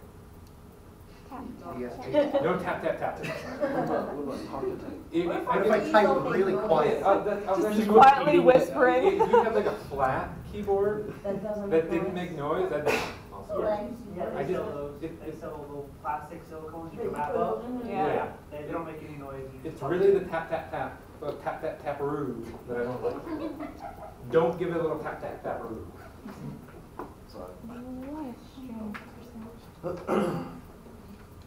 So, acids make hydrogen ions. Bases make hydroxide ions. That takes us to pH. You've all heard of pH. You all probably have some idea of pH, right? That's how acidic something is. Where do you use pH in your life? Um, well, I work for, a pool- I'm a pool technician, so, um, so. Definitely and so it's right? Balancing. Yeah, it's all about pH. So that's, that's where people really come in. Touch your. Oh, no. That's like baseline too. I don't think anything, so. Yeah. My friend's into like holistic medicine, and she like used those test strips and they're spit. And it's like not the correct, supposed to like correct stuff. Food service use. Is it? It's food, oh, yeah. Aquariums. So Aquarium, yeah. Yeah? It's not active. If you have the wrong pH, you get all, Kill your fish. kill your fish, get all kinds of stuff growing in there. He's, he's always going to be acidic. So pH is important to us. Because those, that's not. Wow. Not that. It's my job to convince you it's important. So pH is going to be how acidic something is. And there is, it's a range. And if you're acidic, you are down here on the pH range. So pH we normally consider is going from 0 to 14. That is not a hard range though. Things in normal real life are going to be within that range. But when you get into an actual laboratory, you very, very, very quickly get outside of 0 to 14. It's not that hard to get out of that range. And so 7, halfway between 0 and 14, is neutral. That is not acidic, not basic. Uh-oh. Mm. Pure water is neutral. Okay? Yes. This is fun. That's not. I think it's because the power flickered. Can I go home? I It's gotta clean not. my fridge. Like my roommate is very pressed about me cleaning my fridge. And one of our roommates, he broke his lease, and so he's just gone. He didn't clean out. And no, I'm so serious. Like ninety percent of the nasty shit in our fridge is his shit. I'm, and I'm so mad about that. Now I have to clean up his nasty shit because he wouldn't. We can talk about the stuff. We can non-offensive words talk about Oh, the nasty I'm sorry. stuff. I'm sorry. That's just how I talk. That's how I talk since I was like ten. Nobody really ever cared. So. the first teacher I met that actually cares about my sailor's mouth. Nobody really ever cares. Ever. Even at work, they don't care. They're like, okay, we're fine now. It's coming. There's a lot of light on. It's trying. It's drying. There it comes. Oh, Okay. But I. So pH 0 to 14. 7 is neutral. All right? Yeah.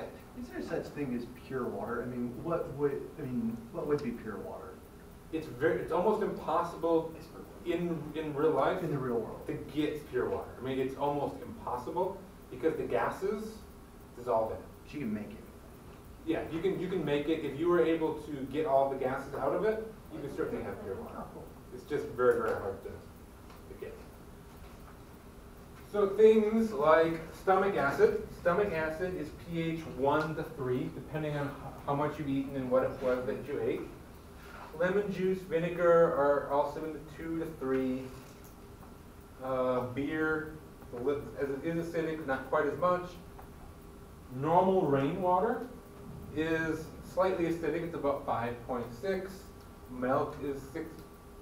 Milk? Milk. It is milk. I don't care how it's spelled. It is milk. Okay? Cows live in Wisconsin. Okay, I'm from Michigan, right next to Wisconsin. Wisconsin certainly knows how to pronounce milk, so it's milk. I'm pretty sure there was a M-E-L-K, YouTube video pronounced, about but that. spelled with an I. Phonetically, yeah. So pure water is seven. Our blood is slightly basic. Okay, it is seven point four. So basic. Technically, we're all we're basic. We're, we're all very basic. No, we're all a little basic. We're not all very basic. We're just a little basic. We'll, we'll see it on the other slide. It's, it's about 7.35 to 7.45. So 7.4 is a nice middle ground. Ocean water is a little bit basic. When you start getting up into more basic things, they're not as common in the real world. There's a lot of acids out there. There aren't as many bases.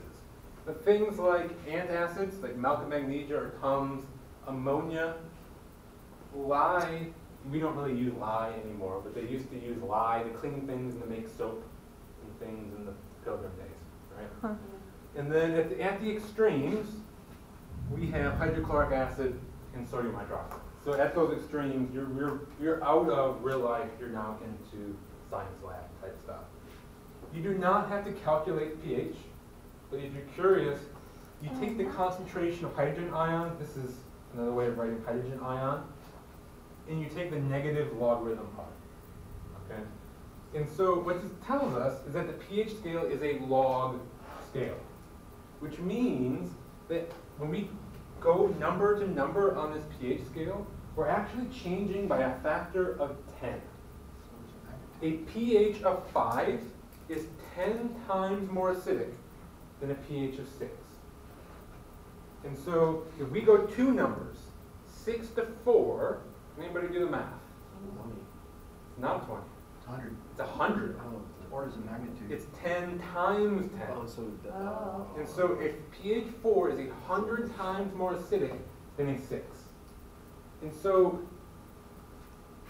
from a 7 to a 0, that's 10 times 10 times 10 times 10 to the 7th power. That's a big number.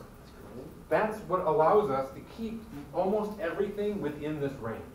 Even though it's 0 to 14, it's actually a gigantic range. It's also, where else do we use log scales? Earthquakes. Earthquakes. The Richter scale is a log scale. And so a, a, five on the Richter scale is actually 10 times stronger than a four. That's why when you hear about a four and a five, there's not much, not, much damage. But When you get up, go to a five or a six, stuff starts to happen. And then six to a seven, it's a big deal, right? And so log scale allows us to compress a gigantic range into a manageable scale. So like I said, our blood pH is normally about 7.35 to 7.45. If you get below 7.35, it is called acidosis. It's called acidosis. Your body is too acidic, even though based on the strict chemistry definition, you are not acidic, right? If you are 7.3, you are not normal. Based on the chemistry definition, you're uh, still above neutral. You're basic. But in medicine, you are acidotic. You are suffering from acidosis.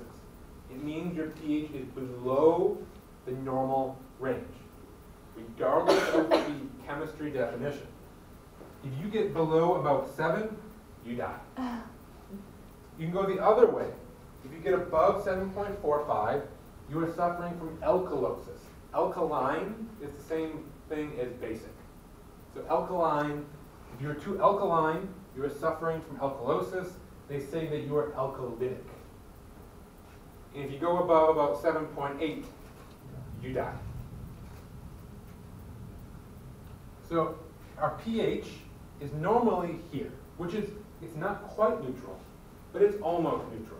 And so for the most part, we have about equal numbers of hydrogen ions and hydroxide ions.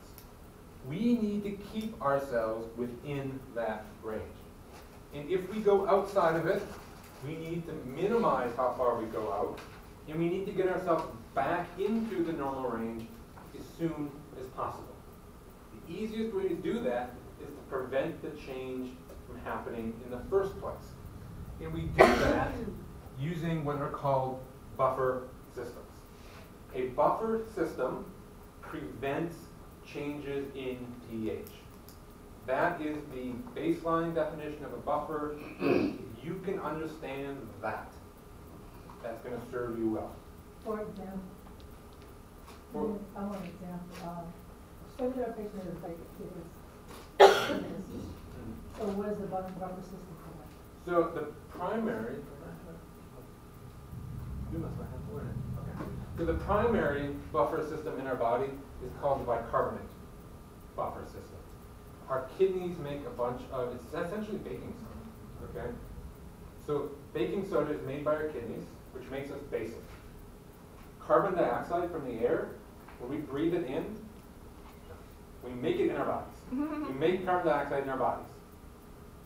It goes into our blood, it makes our blood acidic. Carbon dioxide acts like an acid. So as we're sitting here, as we're metabolizing things, carbon dioxide builds up in our blood, it makes it more acidic. When I breathe out, I breathe out carbon dioxide. I'm essentially breathing out acid. And so, as long as we don't have something that goes wrong, like diabetes, that produces a whole bunch of acid, or something that prevents our kidneys from prevent, from making that baking soda, we will stay within this range. But if something bad happens, that's when you get outside that range. the way buffers work, yeah. good. Is alcohol poisoning put you in, putting you in acidosis? Alcohol ethanol is slightly acidic. I think you'd have to have much higher alcohol levels in your blood than is, uh, what's the word I'm looking for? Humanly possible. Survivable Okay. in order to have a dr- dramatic change on your Okay, so it doesn't, okay. You would die from alcohol poisoning before the alcohol made you too acidic. We get them close, I would imagine. we get them close, Really? yes. The, the way the buffer works is, we didn't talk about, it, but there are, there are things called strong acids and weak acids.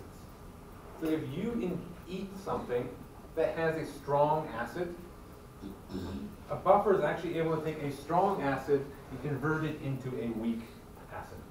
So you can imagine, just about based on the name, a strong acid is going to change your pH drastically.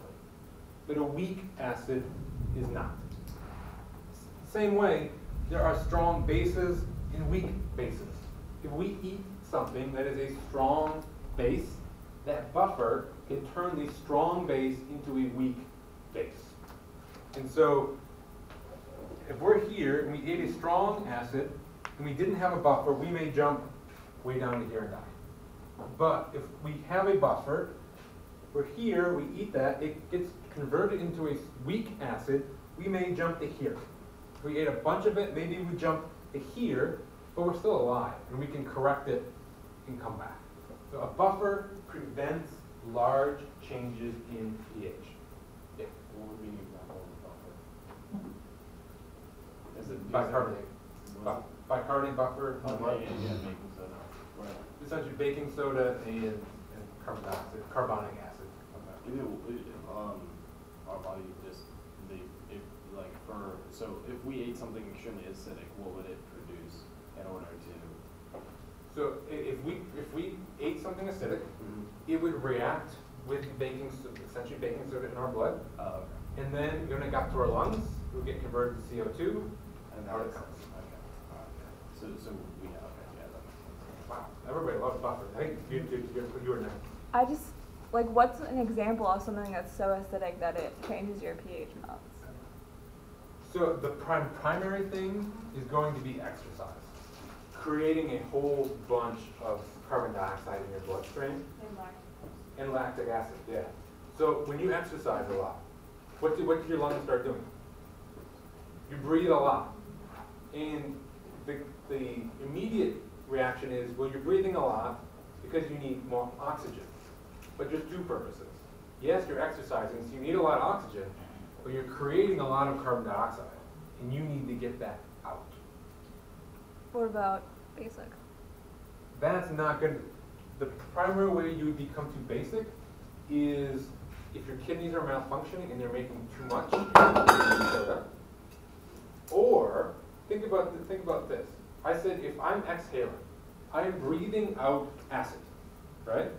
What happens if something if I'm sick and I'm not breathing as much as I'm supposed to? Uh, that- that's the wrong way around.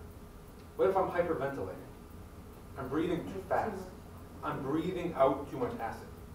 So you can become alkalotic either by having too much base or too little acid. Mm. So what you're telling us is, don't exercise. No, I agree. no. Don't hyperventilate. If you don't exercise, you may keep your pH here, but there are more important things that are going to make you die sooner. There are other questions. I wanted to say diabetic ketoacidosis is a lot more common and easier to describe. Right, it is, it It was for really is. I understood it more. You want No. to take a shot? Basically, if you're not eating right, you get too much acid in Right. your blood and it causes problems, diabetic problems. Yeah. So, So the, which- the, the food that you're eating and the metabolism isn't correct. And So the food you're eating is actually getting converted into acid. Mm. So So is insulin the buffer at that point? Insulin serves a different purpose. We- We'll see insulin this semester. The in- insulin is not. Everybody loves buffers. Never seen anybody so fascinated with buffers. So interesting. Okay. So those were our inorganic compounds. Now we're going to move on to organic compounds, and these are the ones that are actually more important to us in this class. This is essentially a crash course on biochemistry. Okay? Remember that organic compounds are going to contain carbon. And we're going to have four primary types of organic compounds. We are going to have the first one we have here are carbohydrates. Be glad I have printed slides and not writing everything on the board because you can't read it. We have carbohydrates. We are going to have lipids, proteins, and anybody know the last one? Nucleic acids. So we're going to go through each one. Carbohydrates are basically sugars. Okay? Sugar is a, an example of a carbohydrate. It's going to be carbon, hydrogen, oxygen. Carbo, carbon, hydrate, water, hydrogen, oxygen. That's where the name comes? And so this is going to be sugar. It's also going to be the glycogen that we make from sugar. The starches that we eat, cellulose in plants, those are all going to be carbohydrates. And we can break carbohydrates down into categories based on how big they are. So um, remember that picture we had a single hexagon that was glucose? That is a monosaccharide. Mono, one, it's one sugar. Saccharide is a sugar, saccharin, sweet. So this is one sugar. If you take two of them, put them together, you get a disaccharide. We're going to see sucrose is an example of a disaccharide. Sucrose is table sugar. If you take a whole bunch of sugars, put them together, you get a polysaccharide. Poly meaning many. Glycogen, starch, cellulose are examples of these polysaccharides. So this is two monosaccharides. Glucose and fructose are both monosaccharides. If you take them, stick them together, you get sucrose, a disaccharide. Again, there's way more information there than you need. You have two monosaccharides coming together to make a disaccharide.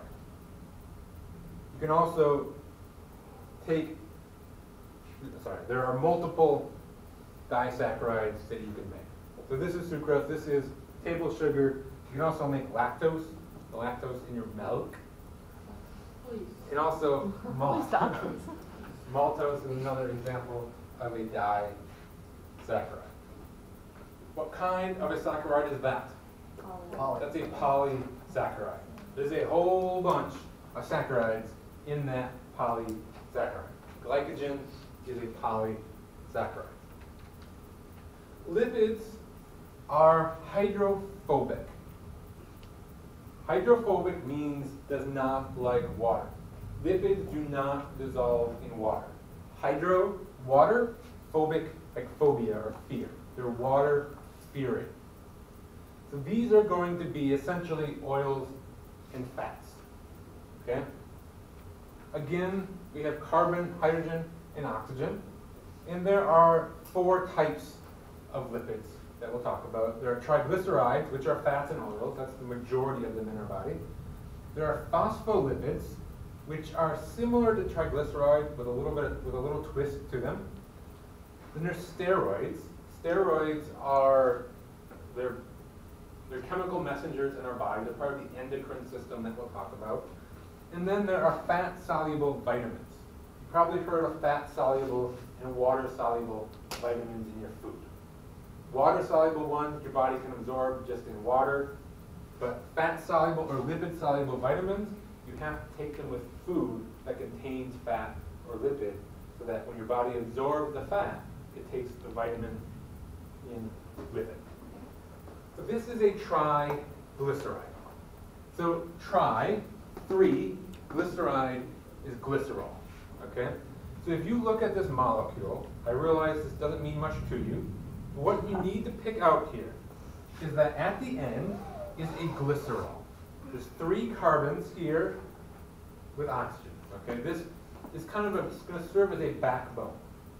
A triglyceride has a glycerol backbone, and then there are three gigantic long carbon chains that come off. That's a triglyceride. Glycerol backbone, three big, long carbon chains, and these carbon chains are called fatty acids.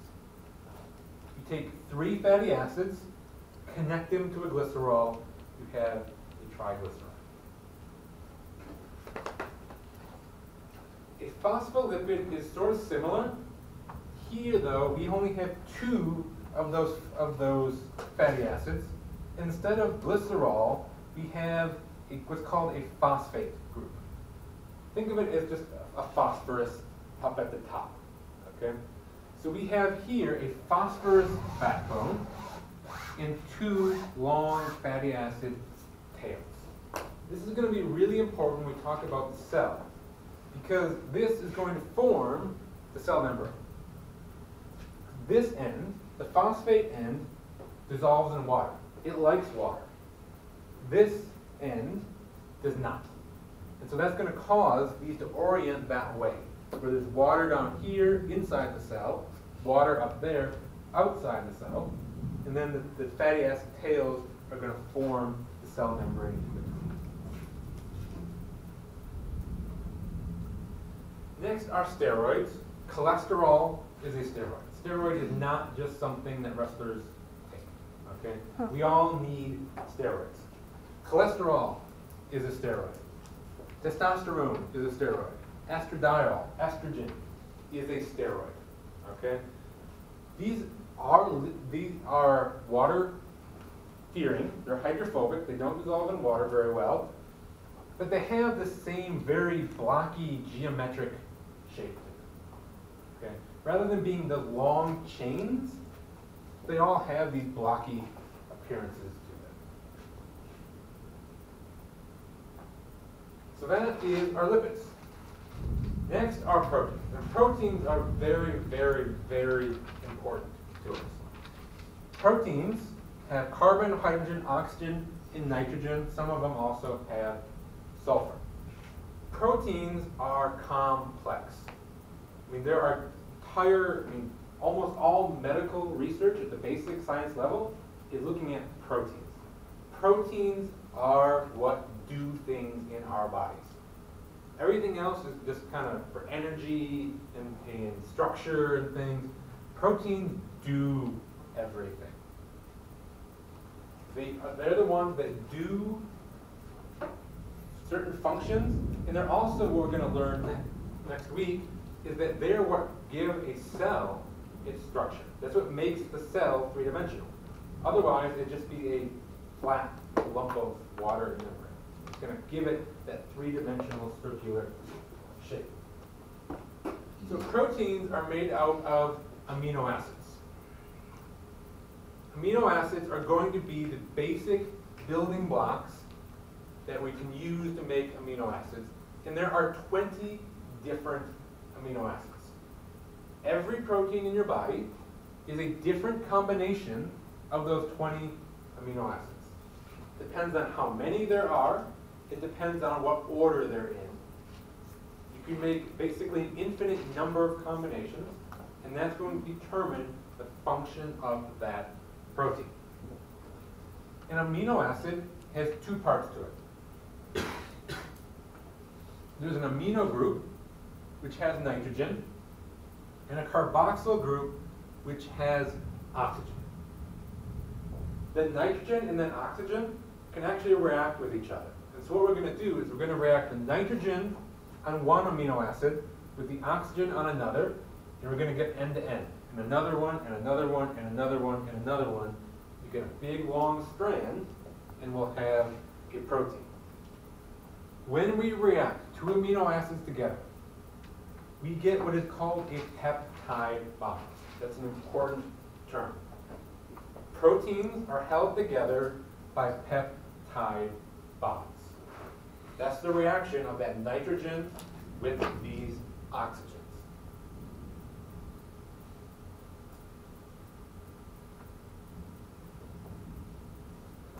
Again, this is another one of those figures that's way more in in depth than you need.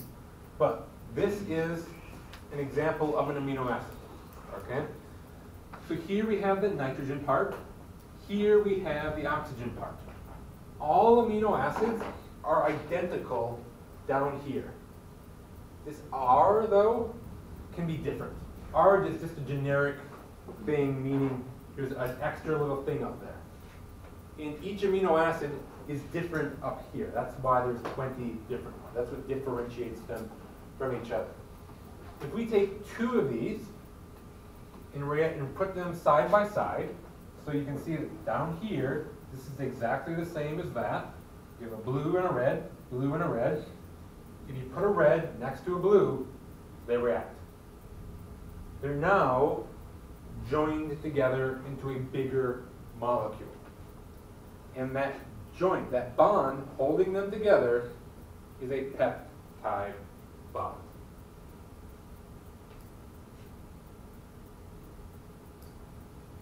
Enzymes are the proteins in our body that carry out reactions, they do things. Anything in our body that requires energy, things that need to be moved around, things that get to need to be converted, things, signals that need to get to be sent. That's all going to be due to enzymes. Enzymes are what are called catalysts. They make a reaction happen. This is just an example of one enzyme. It's called sucrase. An enzyme usually a lot of times will end with ASE. And the first part of the, of the word is going to tell you what it breaks apart. So sucrase breaks down sucrose. Lactase breaks down lactose. So if you're lactose intolerant, you probably don't have enough lactase in your body. And so here we have an enzyme. Think of proteins and enzymes as blobs. I have a PhD, okay? I don't care what level of scientific research you're working at, people think of proteins as blobs. Trust me on this. I can find you the biggest, most, most expensive and high profile scientific breakthrough in proteins, and somewhere in there is going to be a picture of that protein as a blob. Think of proteins as just blobs that do things, okay? Uh-huh. So we've got our, our orange blob here, and this is sucrose. Sucrose is what type of a saccharide? Di. It's disaccharide. There's two of them here. And so that disaccharide sucrose is going to come in. It's going to fit like a lock and key. When it fits in there, the enzyme is going to break it apart and send the two monosaccharides off. Our body can't digest a disaccharide. Our body actually breaks down and gets energy from monosaccharides. So if we have disaccharides, we have to break them apart into monosaccharides before we can get the energy out of them. So sucrose came in, it got broken apart, it floats away, and now our enzyme is ready to go again. Enzymes can go again and again and again and again indefinitely. Eventually, they'll just break down, but they're not going to really break down because of this, they're just going to break down from old age. So an enzyme is going to cause a chemical reaction. So if you're like allergic to like That's going to be something different. So that's going to be the immune system. That's going to be the immune system. So our last type of organic molecule we have to talk about are nucleic acids. And there are three main nucleic acids we have to talk about. DNA, which is the biggie, right? RNA, which is related to it, and then there's a, seems like it's a very, like a detail, but this one is going to be very important to us all semester. So DNA is deoxyribonucleic acid. This are this is your genes. This contains the instructions to make you. These are the blueprints for you. This is going to live in a cell, in a safe place, and it's going to stay there. Okay? DNA is made up of three nucleotides. So proteins are made of amino acids. Nucleic acids are made out of nucleotides. A nucleotide is the basic building block of a nucleic acid. And there are actually only four of them. We had 20 amino acids. But believe it or not, our entire genome, all of our instructions, are a repetitive sequence of four letters. There is A, G, C, and T. Adenine, guanine, cytosine, and thymine. That is it. That's all you have to work with in, in the instructions.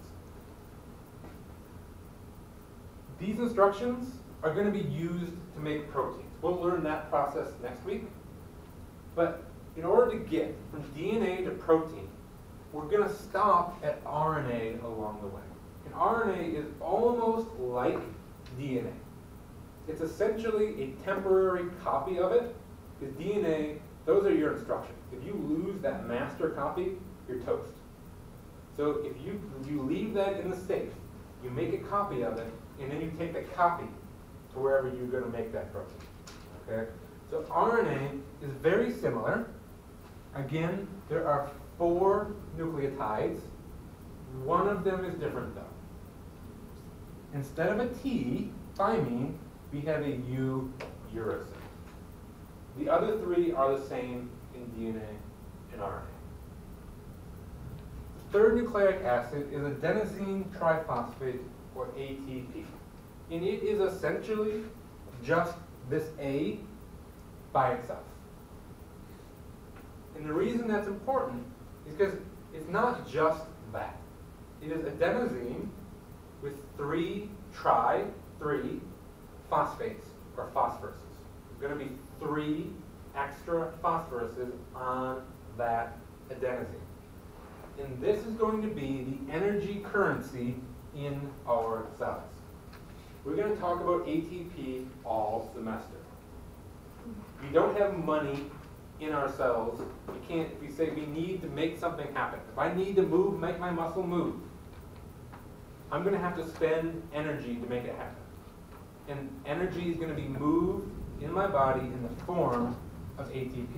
My muscle is going to take ATP, break it apart, and use the energy to make my arm. So this is DNA. You probably know DNA is a double helix, right?